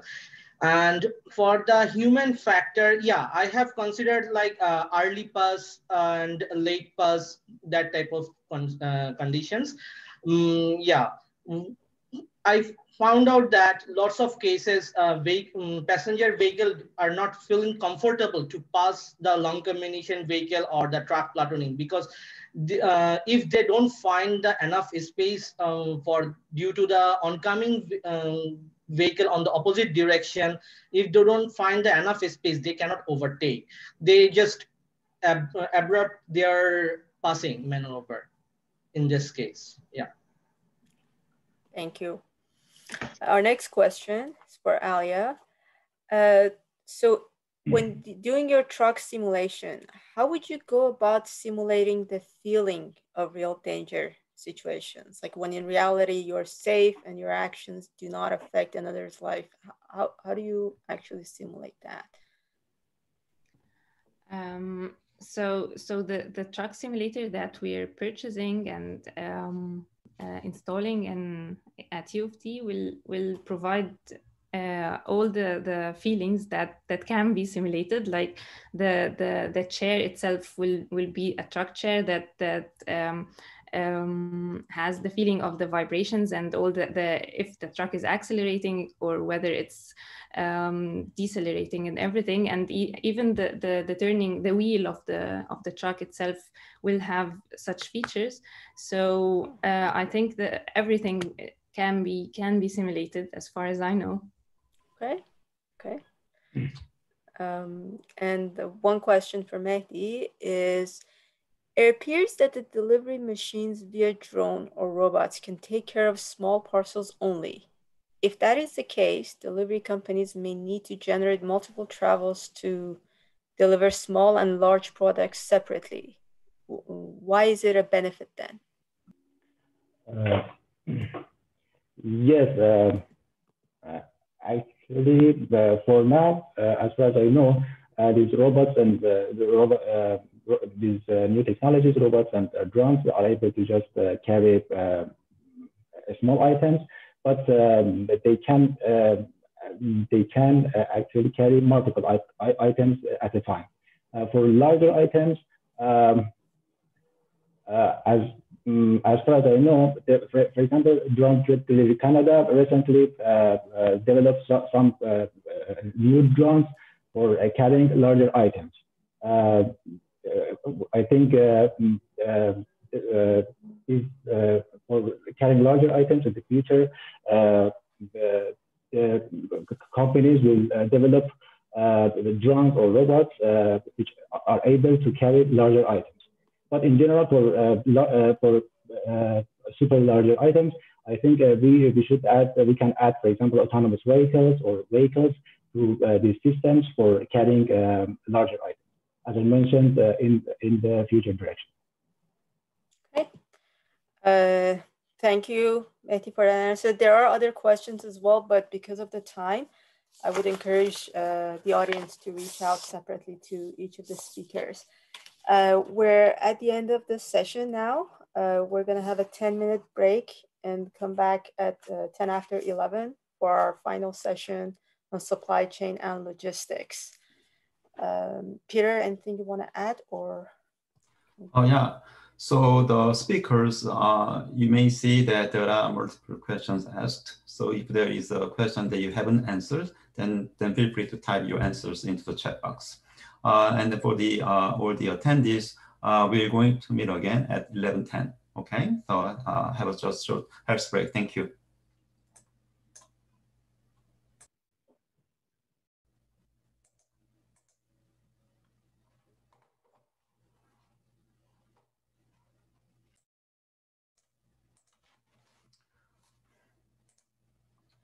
Uh, hello, everyone. So we are going to start again for the session number three. So Dr. Elkafi Hassini is going to be the moderator for the session number three. And he is the, uh, a professor and chair of operations management at the DeGroote School of Business at McMaster University. He is also vice chair of the Smart Freight Center and research director for supply chain analytics at uh, the MISCAN laboratory. And then currently uh, working as an associate faculty member for the School of computational science and engineering. So welcome Dr. Elkafi for his moderating the session number three. Thank you, Peter, and uh, welcome everybody. It's great to see uh, many names that I know and uh, some that I don't. So uh, hopefully we'll get a chance to see you all sometime soon in person. And I very quickly, I would like to thank uh, it's not a, a, a thanking session, but uh, thank Peter and all the team that worked with him and uh, apologize for the delay that I may have caused to some of their planning because it's been a very busy term for me. But uh, thank you very much for putting this together. And it's great to see all uh, the work that's being done, uh, a lot of it with, within the Smart Freight Center. And I know there are many other students that are working and attending today. So it's uh, always good to see this um, project moving forward and being a center for transportation activity within uh, Ontario and um, Canada as well. So with that, I will start with our first uh, presenter, uh, Kianoush Mousavi, uh, who's a PhD candidate at the University of Toronto in transportation planning and his research focuses on uh, crowd shipping business models for improving last mile delivery. And that would be the subject of his uh, presentation. So Kianoush, please go ahead.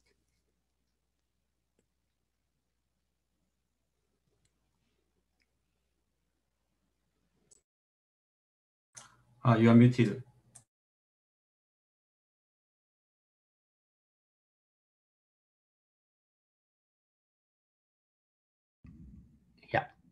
Uh, hello, everyone. Thank you so much for attending the talk. Uh, and thank you so much for the introduction. I'm here today for presenting a last mile delivery with crowd shipping and mobile depot. This work is supervised by Merve Bodur and Matthew Roorda. So as an introduction, uh, for the about the trends in e-commerce, you know that e-commerce revenue is expected to increase about 48% from 2018 to 2023. And uh, an another research survey for logistic provider and retailers showed that 87% of respondents would make a use of crowd shipping delivery by 2028 compared to responses about a 30% in 2019.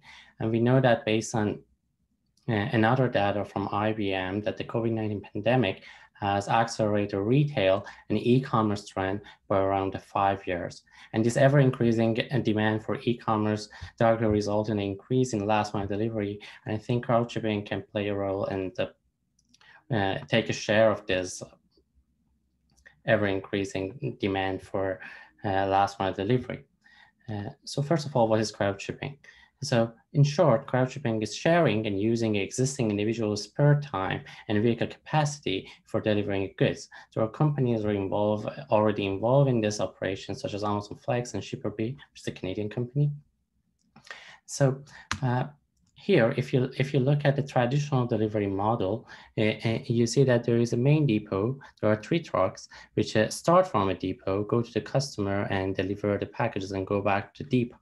But when the crowd shipping is introduced to this traditional delivery model, um, you see that one of one of the crowd shipper replaces the one for regular driver. This crowd shipper have an origin and destination. Uh, it start from its origin, go to the depot, pick up packages, uh, uh, deliver to the customer and go back to its destination. But we know that the most of his depot and houses are outside of urban areas. And uh, we know that uh, majority of the potential crowd shipper are in living in urban areas. And so we don't have access to them if they are in suburban areas or industrial area. And we know that if you have a, uh, access to more crowd shipper, the and the, this operation would be more cost efficient because you have more option to match your customer to the crowd shipper. Uh, but so the approach can be you you you you can um, establish a, a micro hub or fix, uh, fix uh, facilities in urban areas to kind of uh, use a crowd shipping operation. But th this approach might not be desirable for many companies because uh, it requires a huge investment and some companies don't want to take a risk. Some companies don't have that um, amount of capital to make this uh, investment. So we just thought that using a mobile depot uh, can be an option uh, in a crowd shipping operation. Uh, so if so, this picture shows a crowd shipping operation with mobile depot. So you see that there is a main depot, which is implied is outside of the region. And there are customers, uh, which is uh, in a blue circle. And there are uh, mobile depot serving location candidate uh, that you can see in a purple triangle. So in this operation, we see that we, uh, we, we, load this uh, mobile depot, which are essentially truck to the customer packages. We send them to this uh, Canyon mobile depot stopping location. There's a mobile depot, spend a few hours uh, in, in stop, and the crowd shipper go and pick up the customer packages and deliver it on their way to the destination to the customers. Right. Uh, so in this problem, we aim to select the mobile depot stopping locations, assigning a customer to mobile depot and assigning a customer to crowd shipper, and also uh, make a decision serving or rejecting uh, some of the customers uh, with the aim of minimizing a total, total operational cost. So we model this problem as an integer program uh, and we consider a study area of uh, city of Toronto. Uh, you can see in this picture, and there's a main depot located in region of Peel, which is a major uh, freight hub in North America, and the customer location are blue, and the, this candidate mobile depot location are in green. So we generate this uh, are instances, which you saw that in the previous picture based on TTS data. So customer location are randomly generated in proportion to the population of each traffic zone and crowd are randomly generated based on the demand for each origin destination pairs that comes from TTS. We also select, selected a candidate mobile depot stopping location uh, by considering its uh, proximity into the neighborhood centers and availability of large outdoor parking lots. So um, in our deterministic model, we compare uh, we compare it to the capacitated vehicle routing problem, which is a traditional uh, delivery model. Uh, most companies uh, use it, and they have a very huge market share of last mile delivery. So we noticed that in the both instances, there are cases that our model results in a cost saving. And we notice that uh, when the mobile depot have higher capacity than the trucks that are using vehicle routing problem, uh, this, um, this cost saving is uh, much more significant. Uh, but another important aspect about crowd is that crowd uh, the availability of a crowd are usually highly uncertain. They don't have any commitment to participate in this delivery. You might have some idea that these crowd are uh, might exist and, they, and you have their um, like their itinerary itinerary pattern, but uh, there's no commitment from their side. And at the same time, you don't have a exact, exact data about their availability but you might have some data based on their uh, historical data or based on a research survey about their probability distribution in terms of their availability. So we want to make the, we wanted to incorporate this uh, availability of CrowdShipper as an uncertain parameter uh, in our existing model to make a best decision about where and where to, uh, to send this mobile depot. So we extended the current integer programming model to the two-stage uh, stochastic integer programming model in the first stage, uh, we make a decision about where and when to set up this mobile depot and which packages of customer we load in the mobile depot and which customer we want to serve or reject. And after uh, revealing the data of the CrowdShipper availability, uh, we make a second stage decision, which is assigning a CrowdShipper to the customer. And in this problem, we aim uh, to make a best first stage decision um, um, by minimizing the first stage's cost plus the expected second stage operational cost.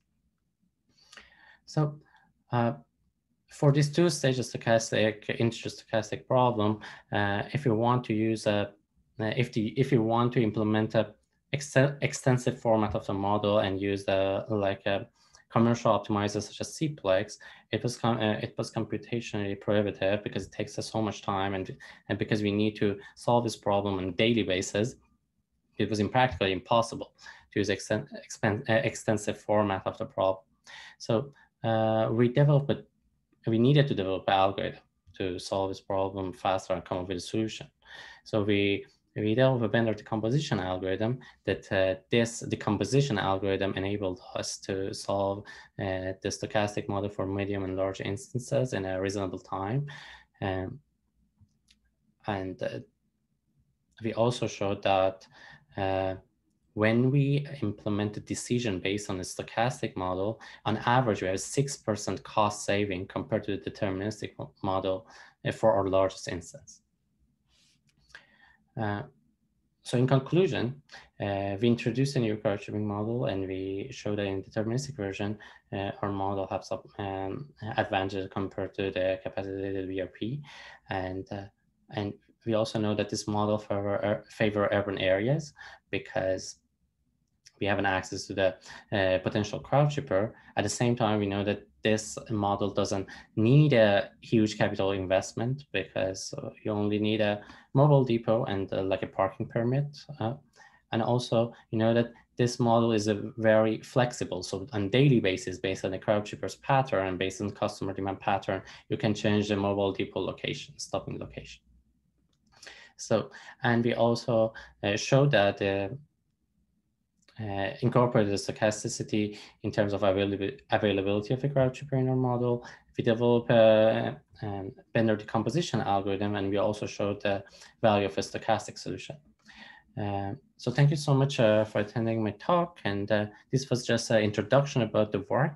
the, so the paper is available online in the uh, here if you need a, if you want to see the detail of the model or some other extension, extensions such as risk averse model that we incorporated in the existing model. Uh, thank you so much. Thank you, Kianoush. Uh, we'll leave questions like other sessions for uh, the end. We're uh, running a little late uh, based on the schedule. So uh, we'll move to our next speaker, Ranwa El-Mallah. Uh, who has obtained a PhD in computer science from École Polytechnique de Montréal. And she's now doing a postdoctoral job at Ryerson University. And her work is on cyber physical systems in the context of smart cities. So Ranwa, please uh, go ahead.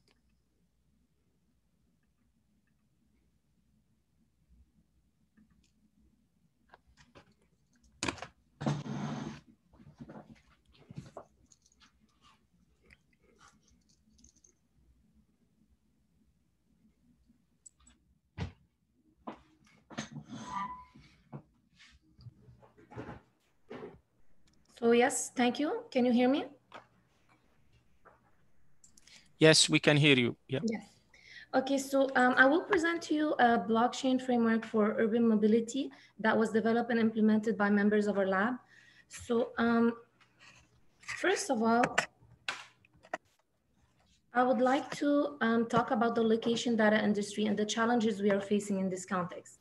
Uh, ordinary people's personal mobility data, uh, particularly the location um, or mobility data has the potential to help governments and researchers to better understand hu human mobility for designing smarter and demand-driven transportation systems. And traditionally, mobility data were solicited via small-scale surveys and governments would take the responsibility to secure this information because it is personal.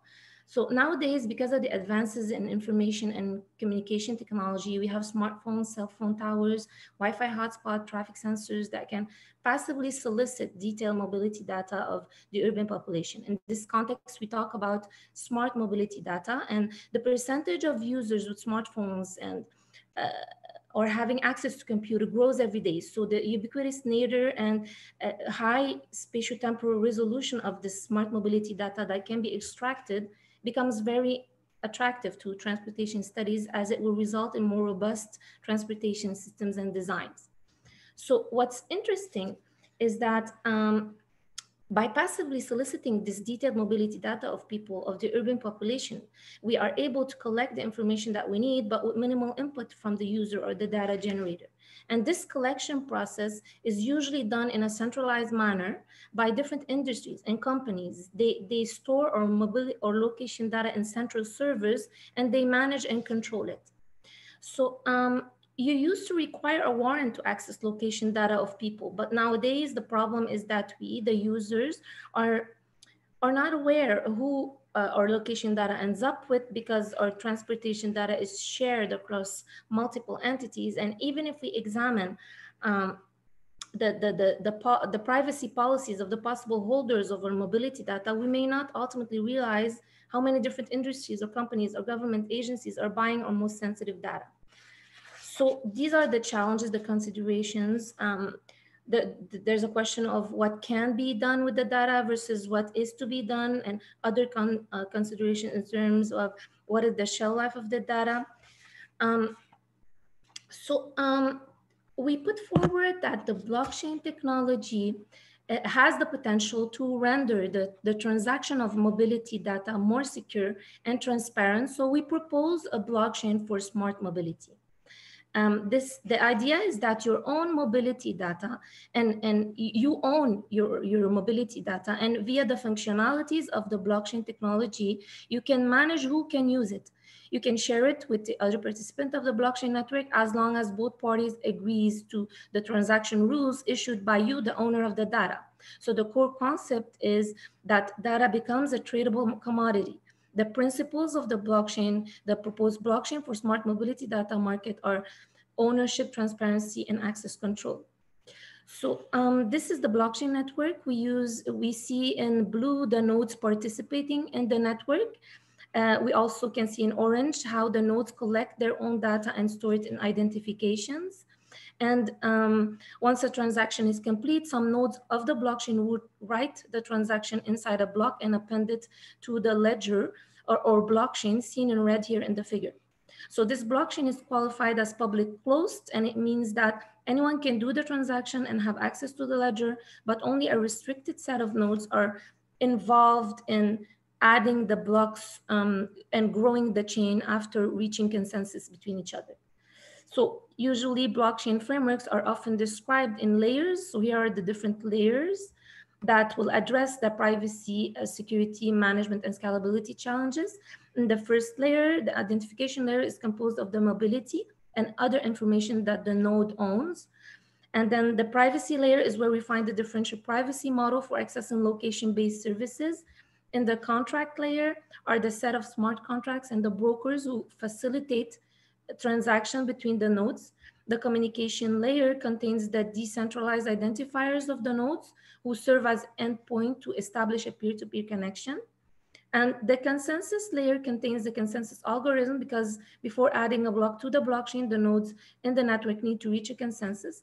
And finally, uh, an incentive layer are in the incentive layer are the economic rewards that the active nodes receive for participating in the con consensus and the rewards node will receive for sharing their information. We show here an example of a transaction done over the blockchain. In step one, the university contacts the broker to get participants. In step two, the broker sends a transaction request to, the, to its client. And in step, in step three, an, an encrypted peer-to-peer -peer channel of communication is opened between the entities. So in step four, the, we can see that the, the nodes will submit a transaction request to the BSMD, the blockchain, and an active node uh, will build a block with the characteristic of the transaction. In step five, they use a consensus protocol and the active node will write the block to the ledger. Um, among the use cases, um, we conducted a case study where um, a, a mode choice model is distributed and estimated over the blockchain. So it's a generalized distributed tool for mobility choice modeling where participants do not share the personal raw data while computations are done locally. Um, since the Transport also, since the transport sector accounts for one of the, more, the highest shares of greenhouse gas emission, we proposed a way to control the transportation sector caused GHG emissions through an emission trading system that leveraged this blockchain. Uh, and it's the uh, blockchain-based user-centric emission monitoring and trading system for multimodal uh, mobility. Also, we proposed a cybersecurity risk assessment framework for blockchain and use the blockchain as a use case to identify risky threats affecting the blockchain ecosystem. Um, to conclude, the BSMD is designed to solve privacy, security, and management issues related to sharing large-scale data. And um, in BSMD, all the information is stored at user devices, and they explicitly select with whom they want to share the information. So smart contracts, they allow individuals with information, which information they want to share. And um, finally, uh, one possible future application of the BSMD is for smart card and travel survey data management and analytics as it enables easy access and usage control. Another avenue is the use of the framework for mobility as a service for fixed as well price uh, formation markets. And finally, we might use the blockchain for communication and data transfer of connected and autonomous vehicles. So these are references and um, feel thanks very much for your attention. Check out the implementation at this link. Thank you very much, Ranwa. I did not mean to rush you, but thank you for making it on time and being very uh, concise. Uh, I just want to remind everybody, if you have questions to the speakers, please put them on uh, the chat and I'm uh, following up there to uh, take one question per speaker later. And we'll move on to our next speaker, Yanling Zhuang from uh, who's a currently uh, a visiting international PhD student at the DeGroote School of Business, uh, uh, and she works on e-commerce and logistics management uh, issues. So Yanling, please go ahead. Thank you, Professor Hassini. Um, our research topic is about the order picking optimization of mobile robots warehouse fulfillment systems this work is cooperated with Professor Yun Zhou, Professor Yu Fei Yuan, Professor Xiangpei Hu, and Professor Elkafi Hassini. This is the agenda of this presentation. The first part is about the introduction. Due to the long working distance and heavy workload of the traditional manual order picking systems, in recent years, many online retailers try to use robotic mobile fulfillment systems to pick customers' orders. Um, this video shows uh, the order picking process of this kind of system. Um, the robots carry racks from the storage area to the picking stations, where pickers pick items from racks and put items to the totes corresponding to some customer orders. Then the robot leaves the finished rack back to the storage area or other workstations, and the picker can pick items from the next rack. During this kind of order picking process, several decisions should be made. First, we need to decide that each order is assigned to which workstation. Second, due to the capacity limit of the tote area, the picker can only pick several orders at a time. Therefore, we need to decide the order picking sequence at each workstation. Third, uh, the racks brought to the uh, brought to one picking station should match the order processing sequence at that workstation. Therefore, we need to decide the rack presentation sequences as well. The next part is about the literature review. Uh, researches about the robotic mobile fulfillment system can be divided into four categories. Our research is about the order picking optimization. Several papers about the order picking problem have been published since 2017 uh, from different perspectives. However, most of them um, focus on the order picking problem at a single workstation. The order and rack sequencing at multiple workstations using optimization models has not been studied yet. Next part is about the mathematical model. Uh, I want to introduce several assumptions before modeling. In a warehouse, there are several workstations picking orders simultaneously. At each workstation, there is a total area. We assume that each total corresponds to one order and there is a capacity limit of the total area that restricts the number of orders that are processed simultaneously. Mm, a new order can be assigned to the workstation immediately to replace the finished one. One of the characteristics of this kind of system is that the same SKU can be stored at multiple racks. Under these assumptions, we can formulate a mixed integer programming model, which can be used to find the best solution in small scale cases. The key decision variables are x and y. We use xikt to represent order i is uh, processed by workstation k in time slot t, and uh, yj when j kt equals one, it means that rack j is visiting workstation k in time slot t. Our objective is to minimize the total number of rack movements since it is the bottleneck of this kind of system. Uh, we use epsilon kt to track the changes in racks to calculate the total number of rack movements. Since the limited time, I will not introduce all constraints. This is the model we constructed. I want to introduce our solution approach in detail. First, we define the fulfillment rate between order i and rec j to represent the percentage of order i that can be fulfilled by rec j. The denominator represents the total number of SKUs in order I. Uh, the numerator represents the number of SKUs in order I that can be fulfilled by rec J. Uh, in this example, there are three SKUs in order I and two of them can be fulfilled by rack J. Therefore, the fulfillment rate equals two thirds. Second, we define the supply rate of racks since a rack visiting a workstation can potentially fulfill several orders fully or partially, we use supply rate to indicate the extent to which a rack can satisfy a set of orders. Mm, in this example, the supply rate of rack J is uh, 3 over 2. We also define the candidate orders of racks and the candidate racks of orders. Using these metrics, we uh, explain our algorithm through a little example. Here we have seven orders in the order pool waiting to be processed and six, uh, uh, there are six racks in the warehouse. In the first step, we calculate the supply rate of all racks according to uh, the information of all orders in the order pool and choose the most used rack to the workstation, which is rack number four. In the second step, we calculate the fulfillment rate of all orders based on the information of rack 4 and find the candidate orders of this rack. Then we choose those orders with the highest fulfillment rate to the workstation. When uh, the total areas of all workstations are full, we can start the order picking process. If some orders are finished, they can be removed from the total area and we can assign new orders to the workstation immediately.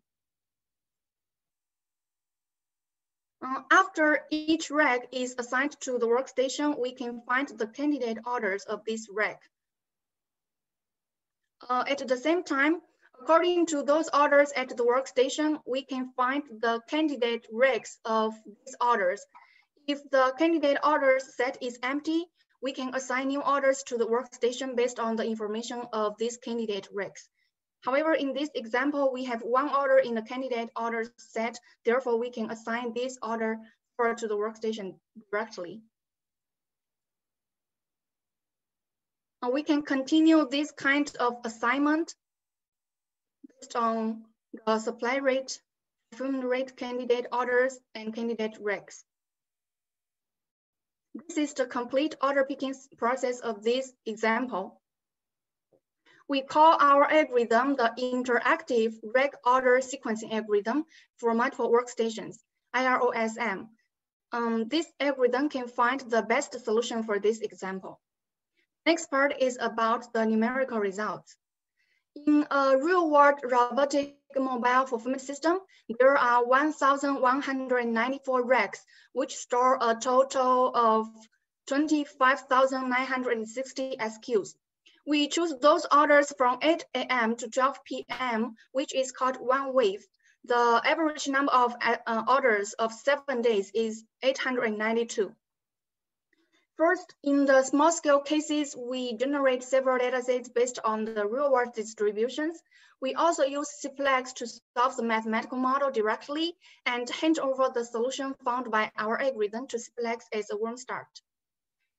Uh, the results show that mm, the solution found by CPLEX within 30 minutes is worse than that of our algorithm. Uh, the results also imply that there is no significant improvement in using MIP start. In the real world case, we compare our algorithm with some other rules proposed by the existing literature. Um, the average computational time of our algorithm for this large scale real world case is about 74 seconds. From this figure, we can find that our algorithm can on average reduce rack movements by uh, up to 62% compared with the real world operation. Finally, conclusions. In this research, we formulate a mixed integer programming model. Second, we introduce a polynomial time data driven heuristic. Third, our solution approach can reduce rack movements by up to 62% compared with the current practice. That's all for this presentation. Thank you so much for listening. Thank you, Alink. Thank you also for uh, trying to uh, be on time. That's good. Uh, we'll move to our last presentation by Sayed Obaid Ali. Uh, he's a civil engineering master student at York University and works on freight route planning. Um, please go ahead.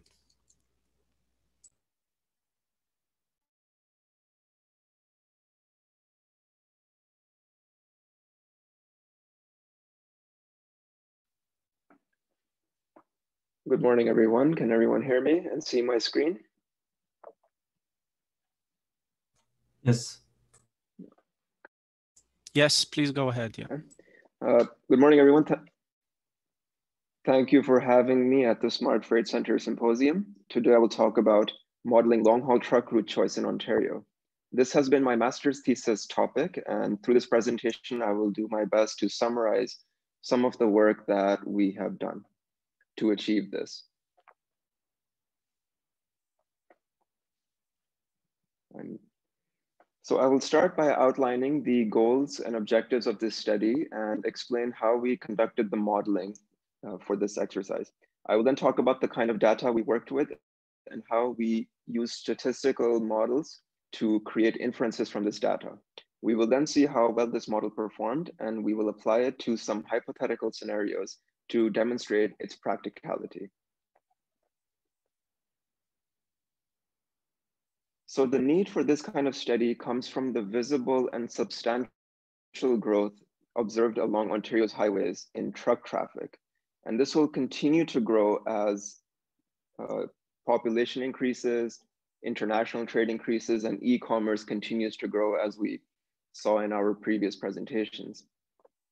So as transportation planners, we need to understand what are the current routes that truck drivers are using today and why they're using them so that we can predict what traffic patterns they will be tomorrow. And that will help us inform our transportation infrastructure planning.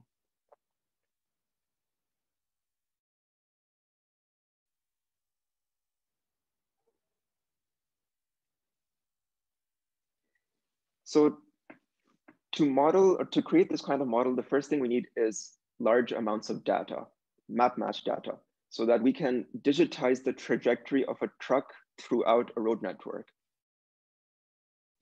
The next thing we need is a way to define or differentiate one route from another so that we understand which two routes are unique and can be analyzed separately or are we analyzing the same route twice?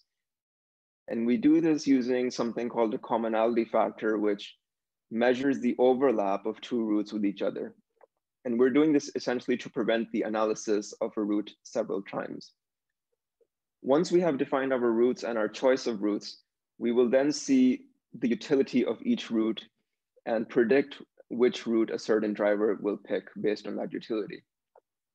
So a little bit of a bit about utility. If you're a truck driver, a rational truck driver, you will choose the route that gives you the most happiness. I am trying to change the screen. I'll go to the next slide. Okay, great.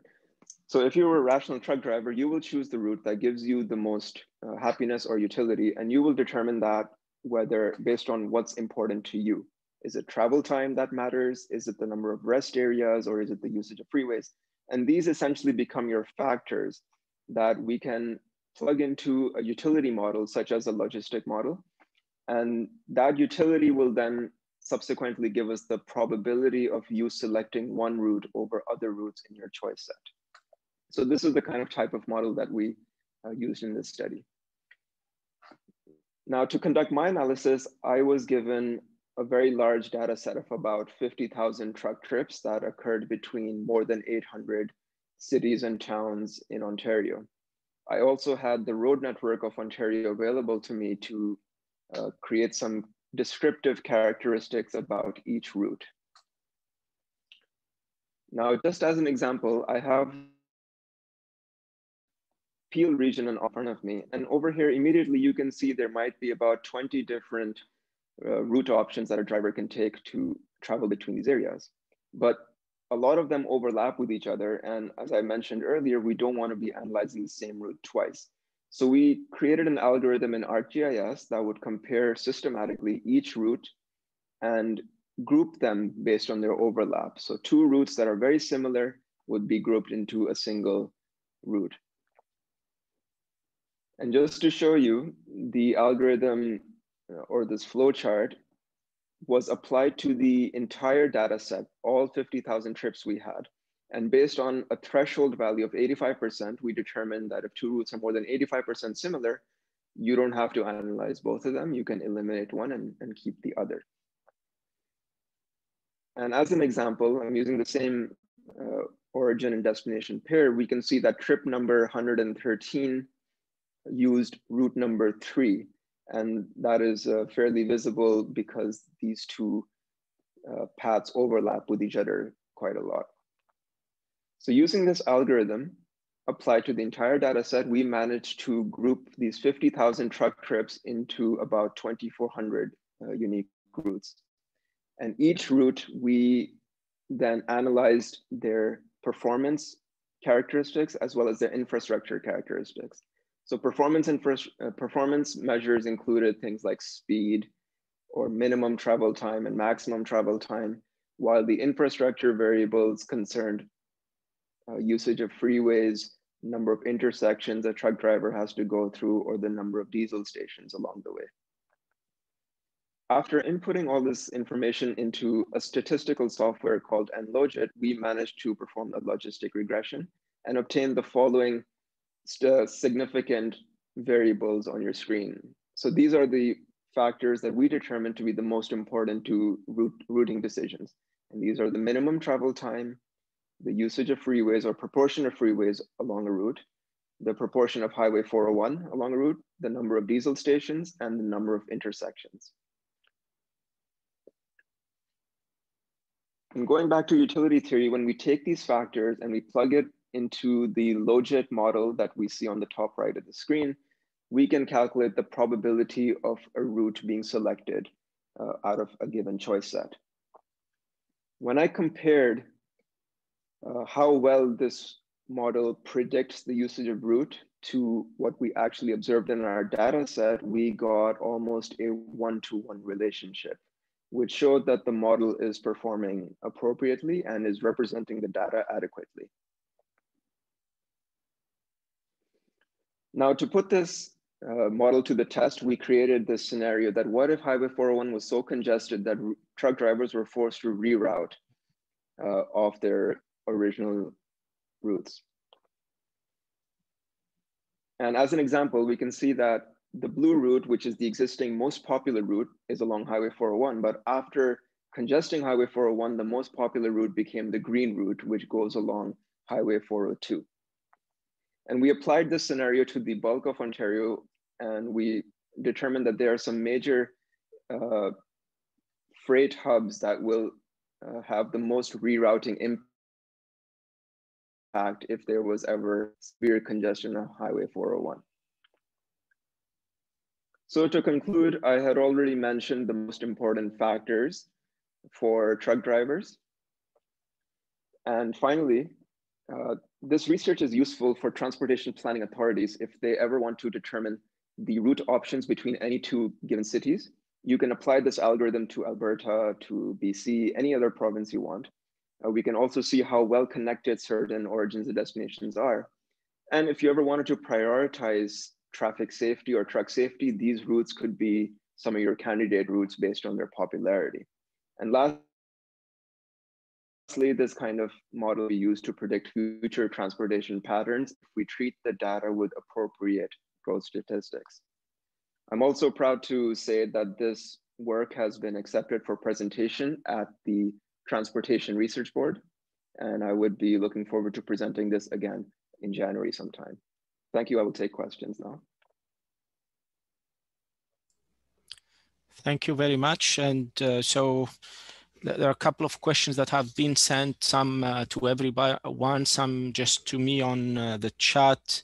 And I will try to have a question per speaker so that we're on time.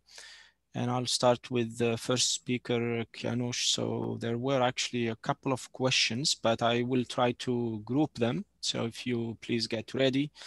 Um, the question was on um, the whether you have considered service time or not. Uh, so it, it, refers to time and efficiency and also regulatory issues in terms of setting up mobile depots. Um, there was a question on benders, which I suggest we leave as a side talk. I think, in fact, my area, I work on benders decomposition, but I, I don't think you'll be able to answer questions on that in a short time. So if you could just focus on service time, whether you have included or what do you think about adding service time and also the regulatory issues when it comes to mobile depots?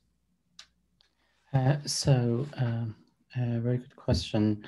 So about service time, uh, we didn't consider service time, uh, but I think if we want to make comparison with a vehicle routing problem, it's very important that we consider that. I think it's kind of uh, help us and I think it's way more to crowd shipping in terms of the result because it's more disaggregated approach of the uh, for last mile delivery. About regula regulatory issues, no, uh, we didn't uh, consider that, but uh, that's very important in operational side and uh, and I think this is a concern of the companies that are implementing these business models mostly, and it's usually region specific. Thank you. And the, the other part of that, uh, Kianoush, was on uh, regulatory issues. So uh, local regulations for setting up mobile depots, if that's something you have looked at or not. Uh, no, I didn't. Okay. Thank you. And Thank you. Uh, I think we have enough time to uh, move now to the next speaker, Ranwa. And one of the questions that uh, came up was also related to regulations that we know even reaching a standard for uh, blockchain technology. It's not clear whether we have a standard that the businesses can trust, privacy issues, and also whether we have the technology infrastructure to apply some of the frameworks that you're suggesting. So any, uh, what, what are your views on that? Yes, so in terms of the technology infrastructure, is it uh, the, the limitation with blockchain in, in any use case application, it's it, the scalability of the system and the current technology might not be able to scale very at large scale. It has limitation in that sense. We're hoping that um, as years go by, technology will, we, will get better and we'll have more um, in innovations in that domain. Um, the first regarding the first question, um, if, in terms of regulations, also before um, it was assumed that code was law. So uh, after many cybersecurity breaches, this changed. So um, it's an open um, how how how the, the question is how is it legally binding? Um, how is that the transactions done over the blockchain are legally binding is is still um, an, an open challenge to, to to the application of the blockchain. Okay. Thank you Ranwa and our next speaker Jan Link uh, one of the questions is on um, you showed some efficiency on using mobile robots within the warehouse in terms of decreasing uh, the processing time and the order setting time. One of the questions is how significant in that in terms of um, in, uh, improving the service time for last mile delivery.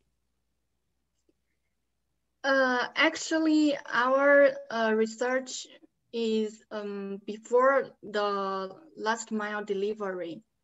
Mm, uh, the current operation of online retailers is they set a, a due time for the uh, for the last last mile delivery. For example, in China is um, 11 8, uh, 12 p 12 p.m. They need to pick all orders before uh, 12 p.m. if those orders are ordered uh, in the morning. Uh, so our our objective is to minimize uh, the number of rack movements so that we can ensure those orders can be uh, processed before the due time. Okay. Thank you. And I'm just checking my notes here uh, my the chat window. Okay, so we'll move on to Obaid, and we have our closing remark is getting close. Uh, we're getting close to the time for that. So Obaid, there are a couple of uh, points that have been mentioned. One uh, technical note on adding a correction factor to avoid bias in your uh, model, and also another question on um, to explain the part where you have added a commonality factor in your utility function. What is the role of that? So maybe I'll stop here and give you a chance to address those. Thank you very much. These are both, both valid questions and they also answer each other. The correction factor needed for this kind of uh, this kind of model is the commonality factor itself. And once you incorporate that commonality factor, it is henceforth referred to as a C-logit model, not just a normal multinomial logit model.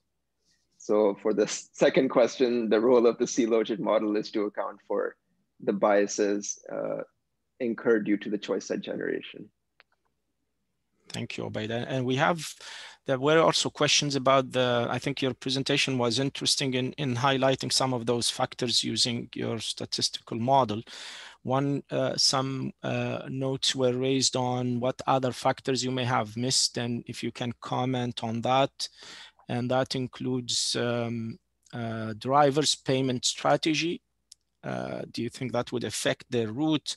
And also, if you have looked at the type of goods that are being shipped and intermodal facilities. So these are some, just all in terms of other factors that whether those uh, you included them or not, or whether you have found that they're important or not in your model. I think every factor is uh, important. The more factors you have, the more descriptive you can be with this kind of model. Unfortunately, some of the data is not presented to us in that manner. So for example, one factor that I feel was very important was reliability. But what happens is that if a route is used so many times, there ends up being a lot of variability in its travel time, and then you cannot capture reliability anymore. So the more a route is used, the more variance there is in travel time. So that was one factor I wish we could use, but we cannot. Uh, second, the types of goods that uh, are being shipped, how they affect routes. Uh, they, we did not have that kind of data, uh, but it would be very interesting for a type of route safety analysis if we were to do a hazmat uh, type analysis on route choice. So that would be pretty useful over there. As for the driver payment, I do not know how much truck drivers are being paid uh, in this country and how much their honesty impacts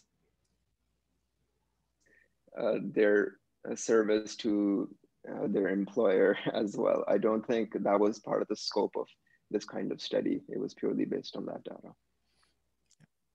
Thank you, Obaid, for sharing your perspective. And I agree with you. Um, uh, the, the issue, uh, the key difference there is whether data is available or not. So thank you all to our, our speakers for uh, since the start of uh, today's part of the symposium. This is a follow-up of uh, uh, last Friday where we had the other um, uh, mostly business and uh, government speakers as well as an update from the universities. And I think for closing remarks, I would like to um, introduce uh, Gurpreet Dhillon, who's a uh, regional councillor for Brampton wards 9 and 10. And his um, the, the, the wards that he's representing have uh, more than 11,000 truck drivers. Uh, and so he's familiar with uh, the, uh, the, the issues that they, they deal with and the contributions, more importantly, that they have to goods movement in Brampton and uh, Peel region and the country overall. And also, he's been uh, an active member of the Peel's Goods Movement Task Force, in particular focusing on uh, safety and efficiency of movements of goods and people within the Brampton uh, region.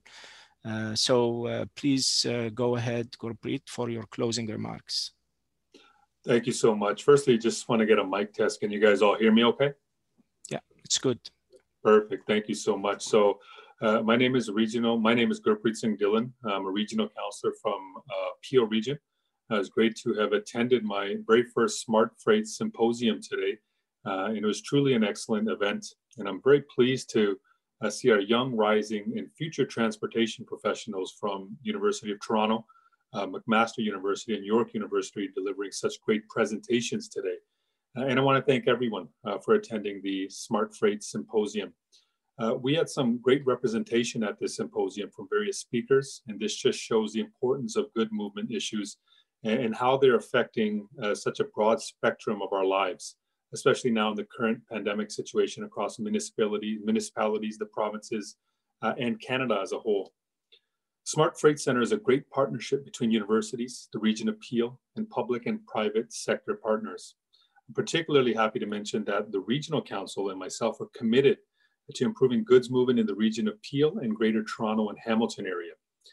Goods movement knows no geographical, geographical boundary. Uh, everyone here has a stake uh, in safe and efficient movement of people's eh, of people and goods.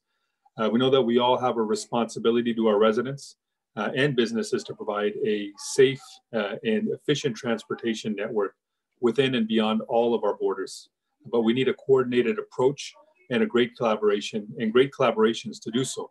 So I want to thank uh, Smart Freight Centers universities, York, McMaster, and the University of Toronto uh, for organizing this symposium. I want to especially thank Dr. Uh, Peter Park, York University, uh, and his team uh, for taking the lead in organizing this symposium. I also want to thank Dr. Judy uh, Farvolden and Patricia Doherty from University of Toronto for their tireless efforts for taking care of the last minute details and facilitating the symposium. I also want to thank our Peel Regional staff for providing their support to this initiative. Uh, it's because of all of your efforts and participation in an event like this that we're taking big steps in improving our goods movement and transportation network. As we move forward, cooperation and collaboration will be central to our success. I want to thank all of you once again for attending uh, the Smart Freight Symposium. Thank you and have a great weekend, everybody.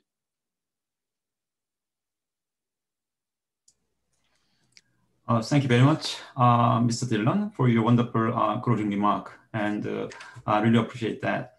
So, uh, you know, this is the end of the 2020 Smart Freight Symposium.